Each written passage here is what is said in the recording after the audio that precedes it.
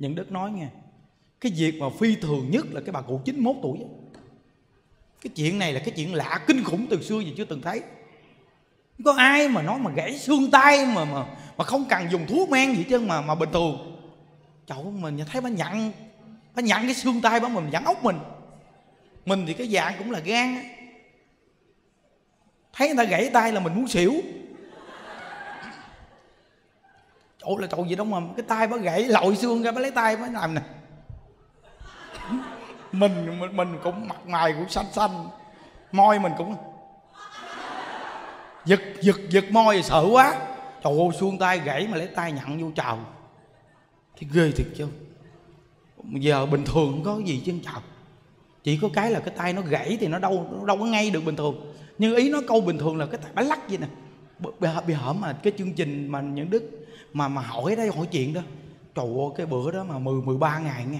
Cái tay gãy xương lòi ra đó, lòi ra luôn đó mà mà mà mà bữa đó những đứa hỏi bà lắc cái tay được không? Bà làm nè. Trời mình là cái dặn gan mà. Mình gặp mình gặp tay gãy mà lắc gì mình cũng dặn ốc mình lên chứ. Quý vị thấy cái chuyện này là cái chuyện lạ thường nhất. Thì những đức hỏi bà là bà gãy tay gì? Mà cái tâm trạng của bà là như thế nào? Bà nói thì tâm trạng thì sao? Thầy thì gãy tay cũng gãy rồi. Thì nó đã gãy là gãy rồi bây giờ già rồi thầy ơi. Sớm muộn thì cũng chết thôi nó gãy đâu nó gãy kệ nó. Nếu cần thiết lấy ra luôn cũng được. Bà này ghê ghê quá ghê chào. Thì bị biết cái, cái tâm trạng của nó quá đặc biệt rồi. Có nghĩa là cái tâm trạng của bà nó quá tự tại rồi nên từ nơi đó là tế bào của bà nó không phản xạ. Nghĩa là tế bào nó không có khuấy động nữa nghĩa là nó nó nó đều hỗ trợ cho bạn hết luôn. Vậy đó mà mà tay chân của bạn không có dứt miếng nào. Cho con người mà gãy cái tay lội ra luôn mà không dứt miếng nào. Không nhức một miếng nào cả, không than thở gì luôn, không nhức gì hết chân mà lên bác sĩ còn nói, trời trời, bà cụ, bà nhiêu tuổi bà cụ? 91 trời, bà 91 hả? Tại vì không ai ngờ bà 91 chứ á. Tại vì 91 tuổi mà nhìn còn trẻ quá. 91 tuổi mà da đầu của bà còn thẳng rang mà nó tròn trịa mà mập mạp thịt da mỡ đầy đủ. Vì coi ờ à, thì con người mà thịt có mà không có mỡ thì nó nó nó, nó cứng nhắc à quý vị không? Nhưng mà giờ có mỡ là mình nhặn vô thùng thùng thùng quý vị. Có mỡ thấy không? Bả mà có mỡ luôn. 91 tuổi mà thịt da mỡ đầy đủ. Nên từ nơi đó mà nhìn bà không có giống 91 tuổi. Thì quý vị biết rằng rõ ràng một con người mà vui vẻ đó nghe thì cái tế bào quý vị rất là tốt. Cái tế bào mà nó nuôi được tốt nhất đó là gì niềm vui. Cái sự an lạc, cái sự an tâm. Không có buồn giận ai để trong tâm. Cái người ung thư gì đi chăng nữa. Nhưng mà nó chuyển biến tế bào được tốt là do tâm trạng. Nhớ nghe, cái tâm trạng nó cực kỳ quan trọng luôn nha quý vị. Con người có thể mất tất cả nhưng phải duy trì tâm trạng của mình an lạc, vui vẻ. Mà tâm trạng nó đã vui vẻ rồi đó nghe, thì cái sự việc trong cuộc đời này quý vị có thể lập được sự nghiệp lớn lao luôn mà rất nhiều người thích quý vị. Nhất là phái nữ mà vui vẻ là nó nó lâu dài dữ lắm. Phái nữ á, tại vì cái người nữ, cái tâm trạng của họ nó thường rất rối, buồn phiền, giận hờn, lo âu. Hình như là cái người nữ là cái cái cái cái khổ nạn của họ là gì đó. nên họ ưa buồn, họ ưa giận lắm. Giống như mà người ta nói rằng là người phụ nữ giống như là chờ mưa, chờ nắng thất thường nói đúng với bà bà cừ. Chứ nếu mà nói người đàn ông là nó không phù hợp nha ít bao giờ mà nghe nói đàn ông mà mưa nắng thất thường á. Mà người ta đều nói là phái nữ mưa nắng thất thường. Ừ, ngộ lắm. Nên từ nơi đó mà cái tâm trạng người phụ nữ mà được rèn luyện á, mà họ vui, những đức nói nghe, một người phụ nữ mà vui vẻ quan hỷ là gia đình này bình an hạnh phúc liền nên ấn tổ ngài nói, nếu mà rèn luyện cho người phụ nữ mà tính tình dễ, vui vẻ quan hỷ, là tức khắc có thánh nhân ra đời liền. Thánh nhân ra đời từ nơi cái tâm trạng người phụ nữ đó đó. Thì quý vị biết rằng là bậc thánh người ta sanh ra từ một con người thiện lành. Hiểu không quý vị? Vui vẻ quan hệ là có thánh nhân xuất hiện liền đó, chứ không giỡn đâu. Đó, nên bây giờ tất cả phụ nữ mà muốn mà mà có thánh nhân xuất hiện thì phải rèn luyện cái tâm hiền từ, ăn chay niệm phật hiền hậu, không buồn giận hay để trong tâm là thánh nhân xuất hiện. Nên từ nơi đó mà sanh ra được một một một bậc mà gọi là có hiền thiện để giúp đời thì ý nghĩa vô cùng, đúng không? Nên từ nơi đó mà tất cả những người phụ nữ mà nghe Phật pháp đó nghe, phải duy trì được cái tâm trạng của mình nó thoải mái, vui vẻ. Bây giờ chồng nó đi sớm gì muộn là cái chuyện của nó. Nó đi ra ngoài đường, nó nhậu nhẹt, nó này, nó kia, nó chơi, nó vui vẻ, còn mình ở nhà cứ lo, cứ ngóng.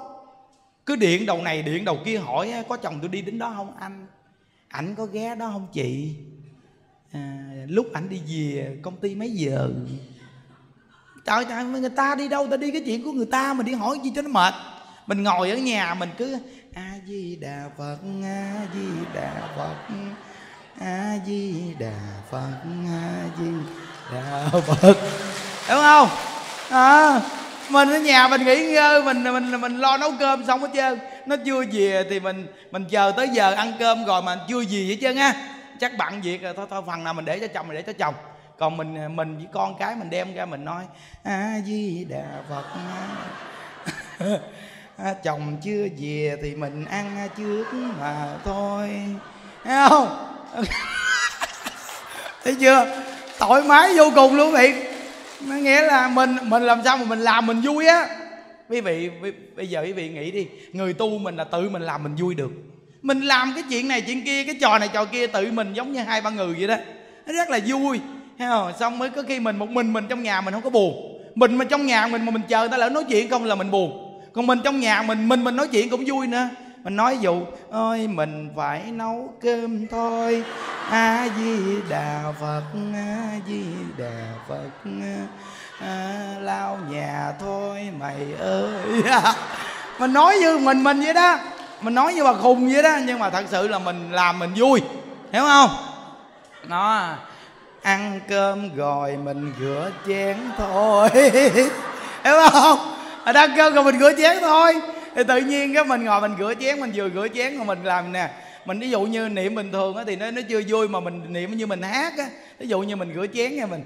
A di đà phật a a di đà phật a cái chén ơi a di mình làm nó vui vô cùng luôn ừ quý vị thấy không? Thời gian nó qua rất là mau nghe. Rồi bắt đầu nấu cơm, rửa chén, lau nhà xong hết trơn, cái mình tiếp tục mình nói a di đà phật, bắt đầu chuẩn bị ngủ một giấc. Rồi thì thấy chưa? Nghĩa là cái cách của quý vị là nó không có buồn một chút nào cả. Chứ ai ai mà ngu dại gì mình chờ người ta về để mình vui. Rồi tự nhiên người ta đi đâu người ta cười hú hí con mình ở nhà. Mình cứ đợi người ta về mình mới vui. Mình cứ trông ngóng cho nó dài cần cổ lên. Mà mình trông ngóng gì mình hao năng lượng, cái mặt mình xấu quắc nó xấu quắc và nó về nó gặp mình rồi nó chán chê mình, thấy chưa? Còn bây giờ mình ở nhà mình nấu cơm đồ, mình chơi với chén bát, mình chơi với câu Phật hiệu hoặc là mình nghe ông thầy đức giảng pháp. Hoặc là có nghĩa là ai mình cũng chơi chung trong trong nhà mình là tủ bàn chén bát bạn của mình không à? À. Ừ mình biết cách chơi. Trời ơi những đức thường ở trong phòng mình mà những đức cứ cứ nhiều, nhiều khi, khi lúc nào mỏi mà thì nằm nghỉ. Còn nếu đứng lên thì những đức nói a di đà phật a di đà phật chuẩn bị đi qua đại tùng lâm thôi à, nó làm cho mình ngộ lắm. Nó làm cho cái tâm trạng của mình nó vui lạ kỳ lắm quý vị ơi. Có nghĩa là mình thích chơi với mình. Tại vì mình đi tìm ai cho nó mệt. Mà mình mà vui vậy nghe ai cũng muốn gặp mình hết trơn mà còn không được gặp nữa kìa. Đừng có nói chi giỡn chứ mình thì mình đi mình đi mong người ta làm chi cho nó mệt. Tim thằng chồng của mình mà nó mà thấy mình vậy rồi đó nó đi làm nó lo mau mau nó chạy gì nó tìm mình chứ đừng nói mình tìm nó nó chạy gì nó tìm mình đó nó khi mà mình dễ thương vậy mình mình mình nằm ngủ mình tự tại nó về nghe trời nó gặp mình nó mừng chết luôn. Nó mừng kinh khủng luôn á mà mình nói đi ra ngoài đi a à, gì đó mình làm nó tự tại á cái kiểu cách của mình tu á là mình trở thành một con người nó rất sống động mà giống như nó hồn nhiên sao á. Thấy không? Nó hồn nhiên hơn cái gì nữa ví dụ như mình niệm phật niệm phật niệm phật đi, mình còn trẻ, trọng lên hung, mình nói a di đà phật ơi, một chút hạ hung? Để tôi tu một chút đi. Trời ơi, cái kiểu đó nó nói, trời, vợ gì đâu mà nó dễ tu gì đâu quá trời. Cái gì đâu mà cô vợ tôi nó niệm phật gì đâu mà dễ tu cái ghê. Không, nó niệm phật không có buồn chút nào hết trơn, đúng không? Quý vị thấy không? Con người mà như vậy thì đúng là một con người đặc biệt luôn. Tuy là thấy nó lạ lạ nhưng thật sự mình là con người quá tự tại. Nó quá tự tại luôn quý vị. Nó không có cần cái hoàn cảnh gì nhiều. Nó cũng không có bị người ta câu thúc.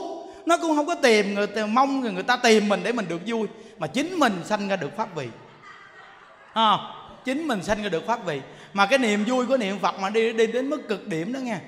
Thì quý vị biết rằng là đối với hoa cỏ cây lá quý vị đều có cảm giác cho nó hết luôn cái này nếu ai mà niệm phật, quý vị sẽ có cảm giác liền. Nếu quý vị là người vui vẻ niệm phật thật sự, thì đối với hoa, cỏ, cây, lá, đất, đai, nước, nôi, quý vị đều có cảm giác chung hết trơn, là một thể luôn vậy đó. Có khi tự nhiên mình đi ngang một cái cây, tự nhiên mình gờ gờ vô cái lá cây mình a di đà phật ơi, lá cây ơi, niệm phật đi nghe. Cho mình làm giống như khùng vậy đó, nhưng mà thật sự là mình vui nếu mà người ta không biết thì người ta nói trời trời trời trời. Cái gì vậy? Thấy ghê quá. Nói chuyện dưới cây luôn trời ơi. Mà họ đâu có hiểu cái nguyên lý gì đâu hiểu không? Họ đâu có hiểu đâu. Rồi xong họ hỏi mình tại sao mà tôi thấy chị có khi mà chị gờ cái lá cây mà sao mà chị chị làm như là chị đang chơi với ai kỳ cục với chị? Cái mình nói rằng cảnh giới này bạn không đủ sức để thâm nhập đâu nó trời cảnh giới này ghê quá ấy tôi không đủ sức hả? Đúng rồi. Anh chị không đủ sức để thâm nhập cảnh giới này đâu. Muốn được như cảnh giới này, ít gì cũng phải ba năm sau. Hiểu không? Nó bây giờ tôi bật mí một chút xíu cho anh chị nghe anh chị biết làm sao mà tôi như là đối với cây cối mà tôi vẫn có tâm thương yêu không? Bây giờ tôi nói với anh chị nè, như anh chị chăm một cái chậu hoa, nếu anh chị thương nó, anh chị chăm sóc nó bằng một cái tâm chân thật, thì tự nhiên nó sẽ nở ra những đóa hoa trả lại cho anh chị tốt đẹp à. Còn nếu như anh chị không quan tâm ngó ngàng chăm sóc nó thì sao nó chỗ hoa tốt đẹp cho anh chị được? Quý vị quý vị mà chăm một cái cây đi quý vị thương yêu nó như bản thân mình đi nó sẽ ra qua kết quả rất là đặc biệt cho quý vị luôn. Phật đã nói trong kinh Quan Nghiêm mà tất cả chúng sanh cùng là một thể. Tất cả chúng sanh cùng là một thể. Những đức á, lúc mà đi, đi tu 5 năm thôi là khi mà những đức mà đi đào đất những đức ưa cầm đất lắm cảm giác như một nắm đất mình nắm trong tay này nè.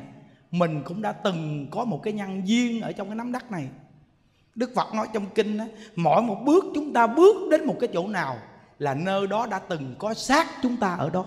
Trời ơi!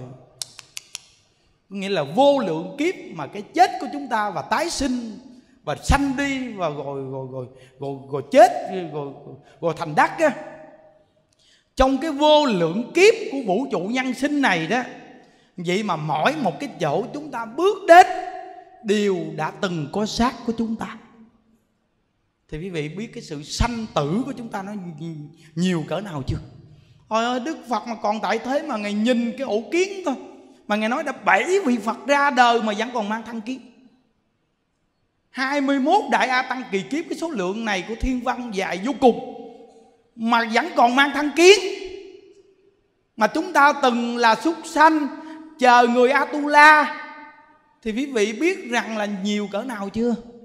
Nó dài cỡ nào chưa?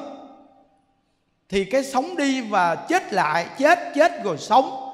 Rồi quý vị biết đã, vô lượng kiếp, Nên chúng ta được chôn đất ở dưới đất á, thì xác của chúng ta là mỗi một bước đi chúng ta là đều có xác của chúng ta. Nếu không có duyên, sao mà bước lên mặt đất đó? Quý vị đã không có một cái duyên gì, làm sao bước đến mặt đất đó? Nên từ nơi đó quý vị biết cái sanh tử trong cuộc đời này nó đáng sợ lắm. Dù là vợ chồng, anh em thân bằng, quyến thuộc, có thân cỡ nào. Nhưng quý vị phải nhớ cái việc ở thế gian này gọi là sinh ly tử biệt. Nghe không? Sinh sống, rồi ly tan, rồi tử biệt. Thấy không? Sự khổ đau của chấp tình, yêu tình, cảm ở cuộc đời này để trở thành xa cách nhau, người mình thương yêu. Là sự khổ đau cùng cực luôn. Nên Phật pháp chỉ chúng ta là chúng ta phải đem Phật pháp để áp dụng trong cái tình con người ở thế gian để mà kết thành cái quả báo ở thế giới cực lạc là xuất thế gian. Đây mới thật sự là tình thương có trí tuệ. Nên vợ chồng già, quý vị nhớ, ai mà đã từng ở dưới quê, cái cảnh thảm thiết nhất là cái thời điểm mà chưa có điện. Rồi cái thời điểm mà chưa có điện mà nhà có người chết đó quý vị. Ở xưa dưới quê á khi nhà ai chết là cái bàn thờ là nó có cái tấm giấy ờ, giải trắng mà viết mấy chữ tàu quý vị Đúng không? Mà nhà không có điện Mà đốt cái đèn dầu leo lét Chỗ là tàu. Cái kiểu mà tối lại, Cái thảm thương nhất là tối lại. Tối lại mà nhìn bằng thờ mà kiểu cái hình hồi xưa in bằng bự, Để bằng thờ. Ngủ thì ngủ thường cái cái chổng, cái cái lưu quăng đồ mà phía trước đó. Còn bằng thờ đẩy lùi xuống giữa tự nhiên mình ngủ mà mình cứ mở mắt ra mình nhìn. Hình sao ba mẹ mình cứ nhìn mình hoài trời? Ờ vậy đó. Mà mà tối lại cái đèn dầu leo lét quý vị. Cái đèn dầu leo lét leo lét cái cảnh. Cho cái cảnh chết nhà mà. Mới có người chết quý vị. Nó thảm thương gì đâu. Ai mà lỡ nhà mà chơi cái giờ đó mình mừng lắm. Lỡ chơi mình mừng lắm mà dưới quê mà nhà hồi xưa có ai, nhà chết đó là chiều người ta ưa lợi uống nước trà đồ chơi. Mà người ta chơi một chút thôi, người ta cũng đi về nhà người ta rồi. Mà khi người ta về nhà mà người ta về mình kêu ta ở là chơi một chút nó đi. Ở là chơi một chút nó đi. Mà chút người ta cũng phải về. Mà người ta về rồi mình nhìn cái cảnh nhà nó buồn kinh khủng luôn. Đây nào xưa mà má như đức mới chết á, trời ơi, cái cảnh nó nghèo. Không có cái cái máy hát đu băng để mình nghe nó buồn rồi ở nhà mà cái đèn dầu leo lét. Mà nhà lá ở trên mà gió bằng đêm nó thổi, nó tóc mái á. Phạch phạch, mình á cái gì vậy? Ừ mình mình sợ nghe tạo dù cho người thân mà chết, mình mình mình có thể sợ nó, chứ không phải chuyện giỡn đâu. Mà mình mình mình mình sợ nhất là xưa dưới quê người ta nói là ba ngày vợ cửa mã mà người ta nói là cái ngày thứ ba là dìa tối đêm đó đó. Là 12 giờ cái dìa khóc với quý vị mới biết được là mình chết rồi. Mình mình chết rồi, cái khóc dữ lắm. Nên tại sao mà người ta dưới quê mà người ta đi, chết xong mà đem đi chôn mà đi dọc đường người ta giải, người ta giải với tiền vàng bạc chi? Là ý ta để dẫn đường để mà biết đường với gì. rồi cái ba ngày cái kéo con gà vòng vòng cái mã. Vợ cứ mã quý vị, vợ cứ mã là ta nói là tối lại, người xưa dưới quê có nói vậy đó. Tối lại bắt đầu đi về nhà, đi về nhà cái biết mình chết rồi, cái khóc khóc than thở trời ơi, mình mình mình nhớ cái cảm giác đó trời mình thấy nó nó thê thảm vô cùng luôn hiểu không? Rồi quý vị biết rằng là chờm sớm cũng thấy nhà đó có người chết như vậy vẫn biết đó là thê thảm đúng không? Nhưng mà không học Phật thì không biết được tới ngày gia đình mình đúng không? Bây giờ gia đình nó có người chết mình thấy thê thảm nhưng mình không nghĩ lại là tới gia đình của mình hiểu không? Vì bây giờ mình là người học Phật mình biết cái chết của mỗi một con người mà mình thấy rồi tới mình bây giờ vợ chồng đó ly tán, cái chết sinh ly, gia đình mình cũng sẽ chết sinh ly. Quý vị coi nè, có những người chúng ta mới, có vợ, có chồng, mình có đứa con, mình thấy thương con và vì vợ chồng hạnh phúc, có đứa con vô cùng không? Vậy mà nuôi con càng lớn lớn lớn lớn lên, con đi học xa, cái còn có hai vợ chồng. Rồi con đi có vợ, có chồng, lập gia đình riêng, cái còn có hai ông bà. Hai ông bà già ngồi hiu hắt, ăn cơm, ngồi trong cái mâm cơm, gấp qua gấp lại nhau cái đầu ông bà mới ngồi nói nhau, bà ơi mai mốt, tôi đi trước cho nghe bà. Vợ chồng già hữu hỷ bên nhau. Nếu như bà đi trước, thì tôi ở lại làm sao mà tôi sống cho nổi? Thà tôi đi trước phước cho rồi, bà ơi bà. Thì bà bà nói rằng, ông cứ nói vậy hoài. Để tôi đi trước cho. Rồi xong mới nói nhau phải chi mà ông chờ, ông cho. Tôi với bà cùng đi một lượt. Chứ cái chuyện sinh ly tử biệt của vợ chồng già. Bây giờ còn có hai vợ chồng già. Ông đi trước, tôi ở lại nhìn bằng thờ, làm sao tôi chịu nổi? Phải chi mà chết một lượt, khuất cho nó rồi. Có gì thì vợ chồng già cũng đoàn tụ nơi chính suối. Trời ơi, trời đội tôi nơi chính suối cái nghiệp duyên ở cái cuộc đời này? Đừng có nói là bây giờ nhiều người quý vị, như cô khuyên ảnh vì nói thấy không? Bây giờ thương người đó quá, người đó chết rồi, bây giờ mình cũng chết theo đi đi xuống dưới đó gặp nhau. Tôi làm ma, làm quỷ cũng gặp nhau. Làm bậy. Cái cảnh giới nó hoàn toàn khác. Nghiệp duyên bất đồng, dù làm quỷ cũng không biết nhau nữa. Là kẻ thù luôn đấy đừng nói mà chi là gặp nhau. Nó trong địa ngục thì đa dạng địa ngục họ sanh địa ngục này mình sanh địa ngục kia. Trong ngạ quỷ thì đa dạng ngạ quỷ họ ngạ quỷ ở đây mình ngạ quỷ chỗ khác. Trong súc sanh đa dạng súc sanh họ sanh loài, loài súc sanh ở vũng tàu mình sanh loài súc sanh ở bên mỹ. Gặp nhau không? Bị nói cảnh giới nó hoàn toàn khác với nhau quý vị coi. Người thì đa dạng người bây giờ mình sanh ở chùa hộ pháp còn họ sanh ở chắc cà đao vì coi đó thì sao mà gặp nhau? Nên con người mà biết tu hành thì mình chọn cái thế giới cực lạc mình gặp nhau. Hiểu không? Nên bây giờ tất cả những người già mà nghe những đức nói nghe. Chứ đừng có nói mà cái kiểu mà tới tới tuổi già rồi cái tranh cạnh nhau chết. Tranh cạnh niệm phật á. Nó, bây giờ mình nói một câu lại, ông ơi, ông. Tôi đi trước thì tôi về cực lạc còn ông đi trước thì ông về cực lạc đợi tôi nghe ông. Nhớ nghe, phải về cực lạc. Ông thấy ngày xưa, tôi với ông còn trẻ, thường chải tóc cho nhau. Nhưng bây giờ tóc còn không còn để chải. Ngày xưa ông thường khen tôi, bà có hàm răng đẹp vô cùng. Nhưng ông thấy thời gian đi qua rất là mau. Ngày xưa mình nghĩ 18 tuổi, đến khi 60 tuổi nó cũng là bốn mươi mấy năm, thời gian cũng lâu lắm. Nhưng đó rồi mới đây, tôi với ông với bà thì cũng đã bảy mươi mấy tuổi rồi. Bây giờ ông coi tôi còn cái răng nào nữa đâu. Thấy chưa? Thấy không? Nó nên ngày xưa năm 30 tuổi Tôi cũng nghe một ông thầy giảng về vô thường, Nhưng tôi không tin. Tôi cứ nghĩ rằng làm gì mà buồn khổ như vậy. Nhưng bây giờ tôi mới thấm thiết lời của ông thầy đó giảng.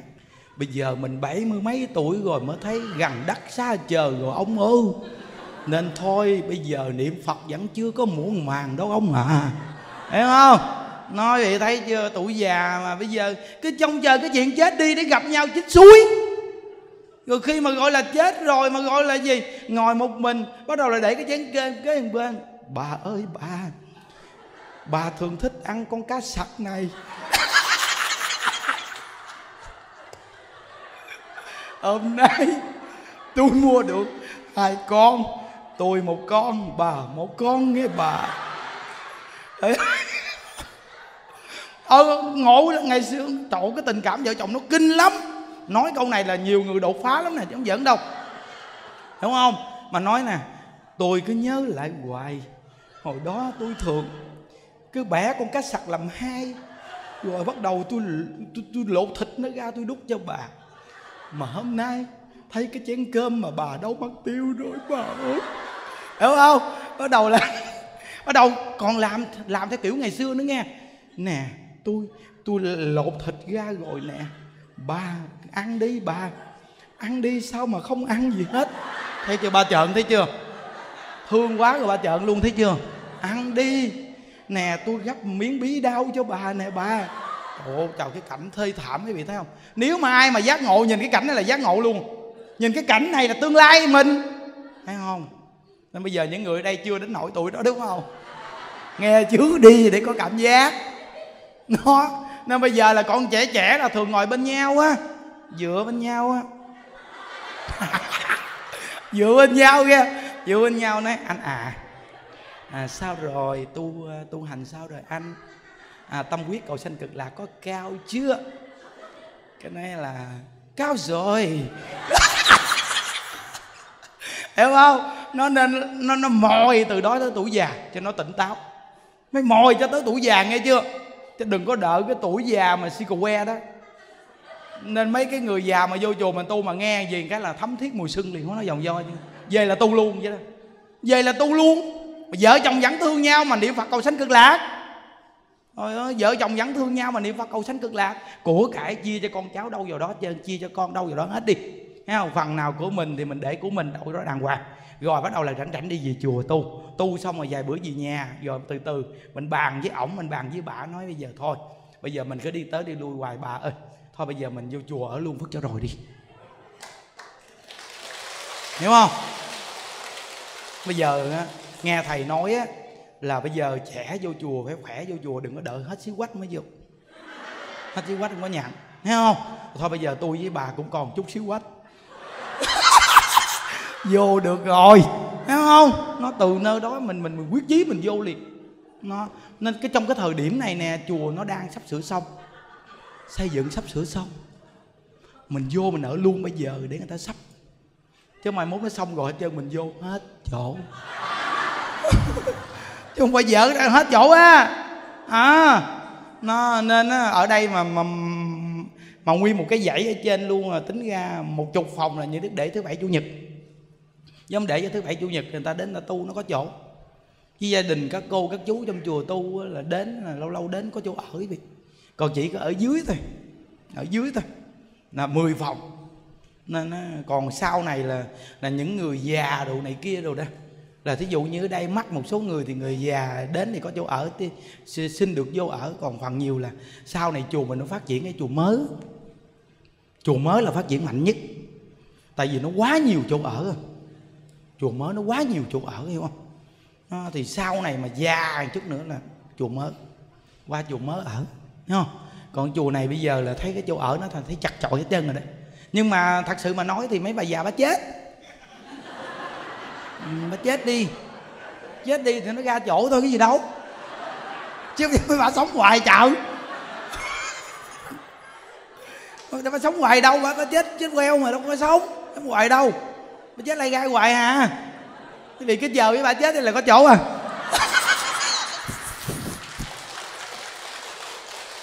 À nó, thì bây giờ chùa nếu bị coi già quá trời con lẽ không chết. Nó mình nói phải chùa ẻo với mấy bà già. Nhưng mà thọ mạng đến là bà chết. Mấy bà già mình mới thoải mái lắm tự tại lắm. Mấy bà già mình là được rèn luyện hết trơn à. Nó bởi vì mình nói cái hạnh phúc lớn nhất mà hai vợ chồng già mà được ở trong chùa. Trời ơi buổi sáng mà vừa tu xong ăn cơm xong á hai vợ chồng già mà vừa đi vừa tẩm bộ vòng vòng chùa. Nó, vừa đi mà ổng nói kìa bà.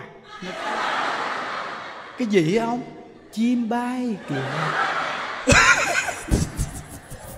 Trời không trong chùa nó nói tới nhiều người già già chứ thôi tâm hồn của họ mà trẻ chung lắm nghe. Vợ chồng già đó vừa đi khi vừa đi đi đi nghe. Đi cái tự nhiên kìa bà cái bà nói gì ông? Chim bay kìa bà. Cái đầu ổng nhìn xuống hoa giấy ông nói kìa bà cái gì nữa ông, qua giấy nở kìa bà. Trời thấy chưa? Nghĩa là cái cái niềm vui ở trong ngôi tam bảo quý vị mà cả quý vị tuổi trẻ mà vô đây cái gì nữa? Không cần lo nghĩ những tự nhiên vài ba ngày cái tự nhiên mình cứ là, cứ cứ cứ là ở trong đây mà nó bình yên. Cái bình yên vài ngày này nó hưởng đặc biệt lắm chứ không giỡn đâu. Nhưng quý vị nhớ rằng là mình tu hành nó được rèn luyện cái hội chúng đông người là nó có một cái sự trải nghiệm của sự rèn luyện. Tuy mình ở nhà mình nó rất là yên cho mình tu nghe nhưng mà nó ở đây ba bốn ngày là nó được rèn luyện cho mình sống trong cái hội chúng là ăn chay nằm đất gia chạm nhiều người để cảm giác cái sự tu của mình nó có một cái sự sao? Khi đụng chạm đó nha. Có nghĩa là nếu như mà mình bỏ cái đại chúng này luôn là cái sự tu mình đi xuống lại. Đi xuống liền vậy đó. Nhưng mà nhờ cái hội chúng này mình mới biết cái tâm của mình. Là cái tâm mình còn sân si, khó chịu này kia đồ, thấy không? Ví dụ như giờ trưởng đoàn dẫn người ta đi tu nghe, mà nằm chung với bao nhiêu con người đông ì ì ì ì. Mà gặp nó nói chuyện la lối um sùm. Có khi nó thử mình, nó coi coi mình mình tu nhiều dẫn người ta đi tu mà mình cái tâm mình sao? Nó rèn mình đó chứ không có giỡn đâu nghe chàng. Nên quý vị nhớ cái câu như đức nói nghe càng tu thì càng ít giận người là đúng tu. Càng tu thì buồn người mau buông xuống là đúng tu. Còn nếu như càng tu mà càng giận dai là sai rồi. À, càng tu mà càng giận dai càng tu mà càng khó tính. Hồi nãy có 11 cô mà đoàn ở Long Hải. Mà từ xưa tới bây giờ là những đức không bao giờ nói cái chuyện mà mình nói mà cái chuyện mà mình nói mà tổ chức sinh nhật sinh gì này, sinh kia nghe quý vị. Nhưng mà bữa đó tại ngày ngày nay là ngày hai tây tháng 9 là ngày sanh những đức luôn đó. Thì có nghĩa là bữa nay mình tổ chức khóa tu tôi hiểu không? Tự nhiên có phái đoàn ở long hải, họ mua cái bánh kem. Mà họ làm sao mà ngộ ghê? Thì xong mấy bà già già không mà mấy bà hát cái bài mà chúc mừng sinh nhật. Trời bà xin lên đây hát nè như đức thôi, thôi thôi cái đại chúng này để tu bình thường đi cô. À, thầy thấy quá nhiệt tình thầy nhà phú dẫn lên trệt thì lên trệt nhà đức tiếp chút xíu xíu. Rồi xong cái họ hát cái bài mà mà mà mà mà, mà, mà chúc mừng sinh nhật á. Xong cái thì họ hát đi mình ngồi mình nghe. Chứ mình có biết hát gì đâu. Họ hát mình vỗ tay chơi thôi phải không? Rồi xong cái đầu có cái cái cái ngôi sao. Họ kêu những đức đâu đâu đâu thầy thầy dở ngôi sao lên để cho may mắn coi tự nhiên như đức dở lên sao tự nhiên như đức kéo kéo hoài mà tiền nó lòi ra hoài vậy kéo kéo kéo kéo kéo kéo kéo trời trong cái bánh kem mà kéo hoài mình kéo chút mấy bà kêu thầy đứng lên luôn mình đứng lên mình kéo trời mình kéo trời bà giá tiền với với năm chục ngàn kéo kéo kéo kéo kéo kéo, kéo, kéo hoài mình nói trời ơi trời cái kiểu này mà gặp mà trên đây mà kéo chắc mình le lử luôn quá không mà công nhận mấy bà cụ già nghe mấy bà cũng vui thế ghê à, mà có mấy cô hơi sùng sồn nhưng mà họ họ họ làm một cái bất chợt mình thấy mình cũng vui ghê nha quý vị.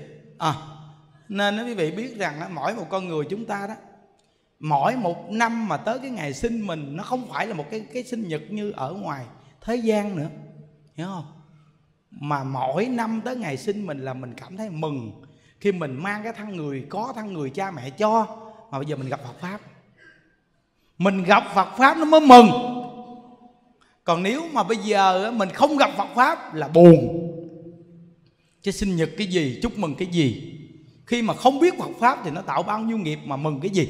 Đúng quý vị? Bây giờ chúng ta mỗi năm mà tới ngày sinh nhật mình là đúng là mình phải niệm Phật nhiều thêm. Mình phải dự cái khóa tu gì nè để mình hồi hướng cho ông bà cha mẹ mình á. Thì nó đúng.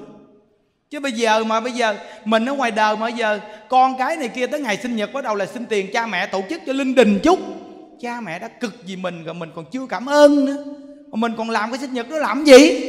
Trời ơi, cái ngày mà mẹ như đức sanh như đức là bả gần chết. Mình tổ chức, mình mừng cái gì? Ngày sinh nhật của mình. Hiểu không? Mà mình đúng ngày đó mình phải cố gắng mình tu, mình hồi hướng cho ông bả. Bây giờ mình tổ chức cái khóa tu gì mình cảm ơn ông bả sinh mình ra.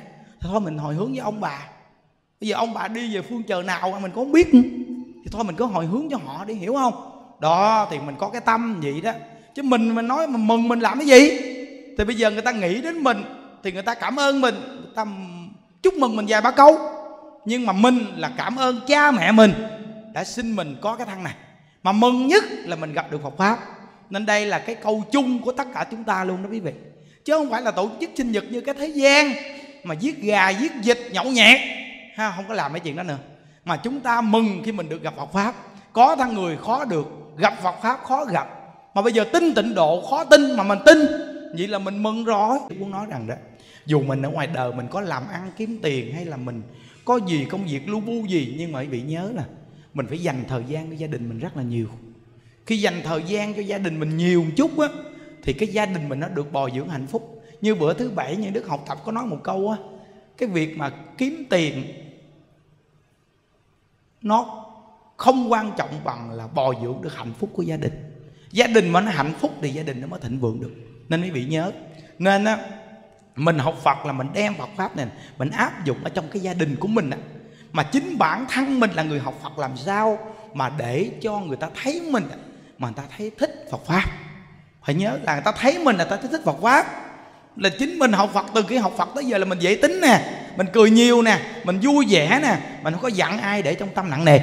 Đó là người ta nhìn mình là người ta thích Phật pháp còn nếu như mà mình học Phật mà mình á, còn còn tệ ngày xưa nữa mà mình á, đi, đi chùa hoài nhưng mà mình khó tính Thấy không? Mình đi chùa hoài luôn mà sao tính tình của mình kỳ cục. Rồi mình á, đi chùa hoài luôn mà sao mà đối với cha mẹ mình lại keo kiệt. Mình nói là tiền để cúng dường tam bảo chứ bây giờ không có cho cha cho mẹ. Cho cha cho mẹ công đức không có bằng. Hoặc là cha mẹ thì quýnh số đề còn ăn mặn cho thì mua số đề ăn mặn này kia được. Thôi, cúng dường tam bảo. Cái đó vẫn là cái tâm của mình chưa mở ra được. Mình chưa mở cái tâm mình ra được, sao mình độ người ta đây? Dù là người ta còn ăn mặn quýnh số đề, nhưng người ta cũng là cha mẹ của mình. Đã là cha mẹ của mình là mình phải cúng dường à mình cúng dường cho cha mẹ của mình để mà gieo cái thiện duyên. Rồi từ từ cha mẹ mới nhìn ra được đứa con này đi tu học càng ngày càng tốt. Vậy là Phật pháp tốt. Thì từ từ họ nói bữa nào mày đi chùa, mày cho tao đi chứ đó là nghĩa là người ta thấy mình như vậy, người ta từ từ ta muốn đi đến chùa. Tại người ta thấy mình đi chùa là mình vui, mình tốt, nên người ta muốn đi đến chùa. Nên quý vị nhớ rằng từ nơi những cái hành động, cái tâm này nè, là thật chắc của cầu an và cầu siêu. Cái cầu an, cầu siêu nó phải ghi tờ giấy, một cái sớ, rồi đọc cho cho cho cho nhiều bên nội, bên ngoại có sơ có tổ, và đọc tá lả minh phải. Mà cầu an, cầu siêu là chính cái hành động của mình nè. Tại vì mình trong một cái gia tộc mình có cái sự câu thông cùng với gia tộc. Bên nội bên ngoại là mình có nhân viên hết á. Nên khi mà mình mà trong gia đạo mà có người mà tu hành là nó lợi ích cho cái cái gia đạo nội ngoại lớn dữ lắm. Bây giờ quý vị coi như bây giờ gia đình dòng họ như đức có một mình những đức đi tu. Mà bây giờ nó ảnh hưởng luôn bên nội bên ngoại. Nó ảnh hưởng luôn chòm sớm mà nó còn lan can ra xã hội luôn. Quý vị coi thấy ghê không? Nó quá lớn. Thì một con người mà học phật á, nó, cái đó là cái hình thức thế gian đó nghe. Còn cái công đức xuất thế gian á, là nó nó bao trùm luôn. Thì gia đạo của mình, dòng họ mình mà người chết chưa siêu thoát được lợi ích lớn như lắm. Nhất là những vị trưởng đoàn mà dẫn người ta đi tu á. Cái vị dẫn người ta đi tu mà nghiêm túc đàng hoàng cho quý vị biết rằng nghe, ông bà cha mẹ mình mà mà dù chưa siêu thoát nhưng mà quỷ thần vẫn tôn kính. Tôn kính. Tại vì cái người kia làm trưởng đoàn dẫn người ta đi tu nên cha mẹ, ông bà của người đó được tôn kính có đứa con cháu mà làm những việc ý nghĩa như vậy dẫn bao nhiêu con người đi tu chờm sớm láng riền nhờ đứa này dẫn mà nó lan can ra, bây giờ sớm này biết tu nhiều quá. Nó, nên mình biết pháp môn tịnh độ này nè, mình phải dùng đa dạng phương tiện khi mình đủ duyên á. Mình đem pháp môn tịnh độ này mình rải ra ở cái xóm làng của mình, rải ra ở xóm làng của mình. Từ nơi đó mà sớm làng mình từ từ nhiều người biết pháp môn niệm phật, mà nhiều người biết pháp môn niệm phật thì âm siêu dương lợi gia đạo mình và và chôm sớm láng giềng mình từ từ nó thịnh vượng thịnh vượng thịnh vượng lên nên các pháp môn niệm phật này là các pháp môn đại thù thắng, các pháp môn đặc biệt cứu khổ cứu nạn ở chúng sanh trong thời mạt pháp này. Mà rất là nhiều người nghe những đức là nói rằng những đức không có đọc thơ đó. Người ta viết thơ, người ta gỡ đó. Rất là nhiều người ta gỡ thơ mà ta nói rằng cuộc đời người ta khổ vô cùng, vậy mà được tặng một chiếc máy nghe pháp thôi. Vậy mà nhiều người ta nói thay đổi cuộc đời người ta. Những cái điều đơn giản thôi mà người ta nghe tự nhiên người ta chuyển biến cái tâm trạng khổ đau của người ta luôn đó mà cái câu mà như đức thường nói rằng ủa mỗi ngày mình khổ mà mười mấy năm vẫn khổ. Mà vậy thì mình khổ hoài làm gì? Bây giờ có một phương pháp mà chuyển khổ đau thành an vui đó là phương pháp gì? Niệm phật. Niệm phật. À, mình nhớ phật thì mình à, chuyển khổ đau. Có được sự an vui nhớ nghe. Đem phật pháp giới thiệu đây là việc làm ý nghĩa nhất. Đem Phật pháp giới thiệu đây là việc làm ý nghĩa nhất. Mà mỗi một con người đều có cái duyên được làm việc này. Thí dụ như bây giờ quý vị nhà mình có ai bệnh hoạn hay mình đi thăm bệnh hoạn ở trong bệnh viện, mình gặp một người thôi, thì tự nhiên đủ duyên thôi, tự nhiên mình mình mình mình gặp người ta đủ duyên thôi. Có khi mình tặng người ta chiếc máy nghe pháp hoặc là đủ duyên, mình mình mình nuôi người thân mình, có có ai cảm bệnh gì, lan can kế bên đó, vì mình ghé ghé ghé ghé ghé ngang mà nói chuyện vài câu. Vậy mà có vài câu thôi, có khi mình độ được người ta đó. Chứ không chuyện giỡn đâu. Mình phải có một cái tâm vậy thì cái phước mình rất là lớn. Mà nhất là pháp môn tịnh độ này dễ khuyên nhất, dễ giải nhất luôn. Nó, thí dụ như bây giờ mình gặp người này ung thư đi, ung thư đi mà mà mà họ đang buồn chán đi, mình mình mình ví dụ là cô cô, con biết á lúc trước có mấy người bị ung thư như cô luôn. Mà nặng hơn cô nữa nghe cô. Mà gọi là bác sĩ chạy rồi đó cô. Vậy đó mà họ biết niệm phật đó cô họ là là là bác sĩ chạy nói rằng là vài tháng nó chết queo rồi đó cô. Vậy mà họ niệm phật họ tu hành họ ăn chay đó cô. Vậy mà cuối cùng á, họ không chết mà bây giờ họ khỏe ra luôn đó cô. Con thấy rằng là bây giờ cô mà bệnh nặng kiểu này rồi á bây giờ cô làm thử đi đâu cô cô cô thử làm biết đâu mình có cơ hội như sao cô? Bây giờ phát tâm ăn chay và chân thật niệm phật đi. Nó tự nhiên có những người bây giờ ta nghe câu này quan gì mà có gặp ngay cái người mà người ta đang ung thư nặng nề, người ta nghe cái câu này cái là tự nhiên ta nói, ồ, bây giờ mình bác sĩ cũng chạy rồi. Bây giờ mình làm thử coi, có cơ hội như sao? Quý vị biết rằng khi mà một con người tuy là bác sĩ chạy, bác sĩ nói là ba, bốn tháng nữa là chết, thấy không? Nhưng mà thật sự thọ mạng còn.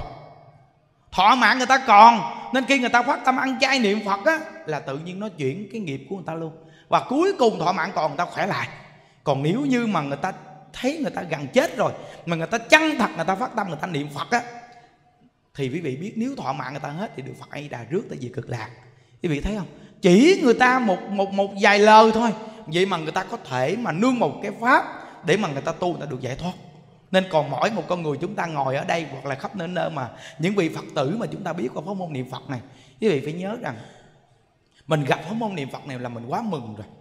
Dù trong cái cuộc đời này có nhiều kiếp nạn cỡ nào đi chăng nữa mà mình thấy rằng là mình mình bình thường lắm. Tại sao vậy biết không? Tại vì mình tin hoàn toàn về định luật nhân quả hết trơn. Nên quý vị ở trong một gia đình mình là mình là một con người học phật á, mà lúc nào quý vị cũng giữ trạng thái bình tĩnh đó nghe là gia đình quý vị, họ đều hướng về quý vị hết. Gia đình quý vị, họ đều hướng về quý vị hết luôn. Tại vì sao? Vì quý vị luôn luôn bình tĩnh. Mà bình tĩnh là tịnh tâm. Mà tịnh tâm sanh trí tuệ. Mà sanh trí tuệ giải quyết vấn đề mau còn con người mà bất an loạn tâm là chuyện nhỏ xé cho to. Chuyện nhỏ xé cho to vậy đó nên mình nhớ ngày xưa mà mình chưa biết tu đi chuyện gì mà nhỏ xíu thì mình la quải quải quải quải quải vậy đó. Là nó chuyện nhỏ xé ra cho to. Nhưng mà bây giờ mình biết tu rồi cái đụng cái chuyện gì cái là mình ai với đạo phật là nó dịu xuống liền. Nó ai với đạo phật cái nó dịu xuống liền. Thấy không? Thì mình biết cái pháp môn niệm phật này nó quá hay. Nó trong mọi lúc mọi nơi nó nhắc nhở mình. Nó, thì quý vị biết rằng là mình ngồi mà mình nghe gì mình gầy dựng gì hay mấy cái người trẻ trẻ nhỏ nhỏ nhỏ nhỏ tuổi đó mà nghe gì thì mình biết đem cái phương pháp để mình áp dụng vào cái cuộc sống của mình đang sống. Từ công ty xí nghiệp, từ gia đình, từ bạn bè, từ chồng, vợ, con. Là do nó có một phương pháp nên tự nhiên mình áp dụng được trong cái cuộc sống. Nó, thí dụ như có một cái chú này, hôm qua bên đại tùng lâm ông tu, mà quý vị biết rằng là từ đó tới bây giờ ông không bao giờ chịu đi chùa. Mà bà vợ thì bà biết chùa mình. Mà bà mà bà nói rằng ước gì mà ông vô chùa ông tu được 4 ngày thôi để cho ông biết trong chùa mình. Vậy mà ông nói rằng à, bà nói quá trời nói để tôi vô chùa tôi coi thử coi sao. Vậy mà ông vô chùa ông nói tôi ở một ngày một tôi về nghe.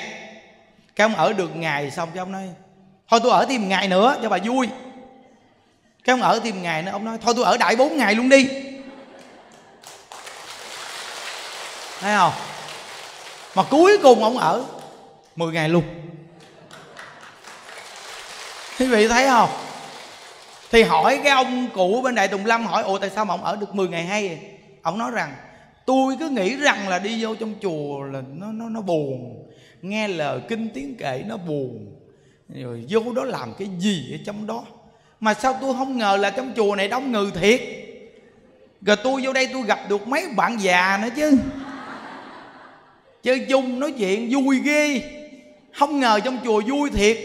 Tôi ở tu đây á rồi nữa tôi về, mai mốt tôi vô thầy cho tôi ở nữa nghe. Thấy không? Là do rõ ràng không? Cái ngôi chùa mà già thì câu già. Thấy không? Thí dụ như đực già thì câu đực già. Cái già thì tu cái già, câu cái già. Ờ, cái trẻ thì cu cái, cu, tu câu cái trẻ. Hiểu không? Hiểu không? Còn nam trẻ thì câu nam trẻ vì thấy không? Nên ngôi chùa nó hưng thịnh con người là do có đa dạng con người. Thì nó mới câu được. Còn bây giờ quý vị vô trong chùa mà toàn thì thấy thầy chùa không à? Thầy chùa mà, mà câu thầy chùa khó lắm nha không dễ đâu quý vị. Ừ. Trời ơi quý vị biết một cái pháp tu á. Một cái pháp tu mà bây giờ mình tu tịnh độ mà mình hướng dẫn một người xuất gia tu tịnh độ khó vô cùng khó luôn. Nếu như mà hướng dẫn người xuất gia tu tịnh độ mà dễ vì tịnh độ này nó thịnh rồi. Hiểu quý vị? Tịnh độ này mà nó không thịnh được nhiều là do người xuất gia không tin tịnh độ. Tại vì người xuất gia là nằm trong cái hàng tăng bảo. Ba ngôi báo phật, pháp và tăng.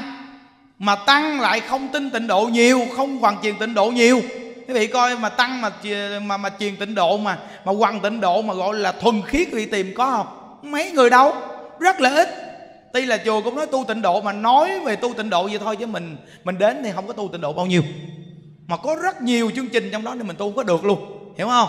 Nên từ nơi đó nói là hoàn truyền tịnh độ mà quyết chí mà tin cho tới cùng tịnh độ thì rất là ít người. Nên gọi là tuy là tịnh độ nó cũng đông người tu nhưng mà cái người hoàn tịnh độ thì quá ít. Nên nói rằng, rằng là mình muốn hướng dẫn một người tăng mà tin tịnh độ và tu tịnh độ mà hoàn truyền tịnh độ thì khó. Rất là khó nên hàng cư sĩ thì người ta lại dễ. Tại vì người ta chịu nghe lời. Nên người ta chịu áp dụng, người ta tu. Nên người ta được lợi ích đó quý vị. Đó, nên chùa mình nè, tại sao mà đông người? Tại vì nó thành phần nào nó cũng có vị trí đó chứ ha. Thí dụ như giờ qua bảo tháp thì con nít nó câu nít. Bảo tháp thì con nít bên ăn chay bên á nhỏ nhỏ mà. Nên nhiều đứa nhỏ nhỏ nó qua anh kia là nó quen mấy thứ nít bệnh á như trong đây có cái thằng trai nó mới vô chùa tu thằng phước á có mẹ ngồi đây nè. Thấy không? Nó đến chùa nó ở trong chùa ngày dịp hè thôi. Vậy đó mà bây giờ nó nó nó xin mẹ nó là nó vô chùa nó ở luôn. Nó mới có ờ, mười mười mười mấy tuổi gì đó. Trẻ lắm. Nó thì nó, nó xin mẹ nó vô chùa nó ở tu luôn nó ở bên bảo tháp mình nuôi cái bà già. Thấy không? Nó rõ ràng không? Nó nó nó nó tự nhiên nó tuổi trẻ nó gặp tuổi trẻ. Còn mấy nhỏ gái trẻ trẻ thì nó vô nó gặp mấy cô trẻ trẻ mình nó gặp mấy cô trẻ trẻ mình mà vui á. Tung tăng vui rồi tự nhiên nó xuống, nó chơi chung. Nó chơi chung rồi mấy cô đó, nó nói cho nó nghe. Trong chùa vui lắm, em ô này kia rồi không bánh kẹo rồi cho nó ăn đồ, nó vui, nó chơi chung với mấy cô chùa mình á. Thì nó chơi với mấy cô tu trong chùa, thì nó thích vô chùa tu. Đó, nó nguyên lý. Nó nó tố nào theo tố nấy à. Nó thích tu thì nó thích chơi với mấy người tu. Nó tự nhiên nó chơi từ từ từ từ từ từ tu luôn nó có nghĩa là nó được cái duyên rồi, nó nó nó bòi cái duyên cho dày lên. Còn bây giờ mấy người già già vô cộng tu thôi. Nhưng mà do chơi với người già trong chùa, chơi viết mới thấy, ô, thì ra là mình ở nhà mình thì nó mỗi ngày ngồi trong hỏng con cái thì đi làm, còn có khi mình ẩm cháo mình chút xíu, hoặc là nó đi học này kia rồi sao mình vô đây mình chơi nhiều người già, vui quá à. Cái tự nhiên họ vô đây họ thấy vui, cái họ ở trong đây. Họ sống ở đây và họ từ từ họ muốn ở trong chùa luôn. Là do già, câu già thấy chưa? Là nói chuyện với nhau, có khi mình nói người ta không tin. Nhưng mà lạ thay cái người mà cùng nhóm á, chơi chung với chung nhau nói người ta tin. Có khi mình nói người ta nói rằng, ông thầy mà ông kêu vô chùa tu thì bình thường.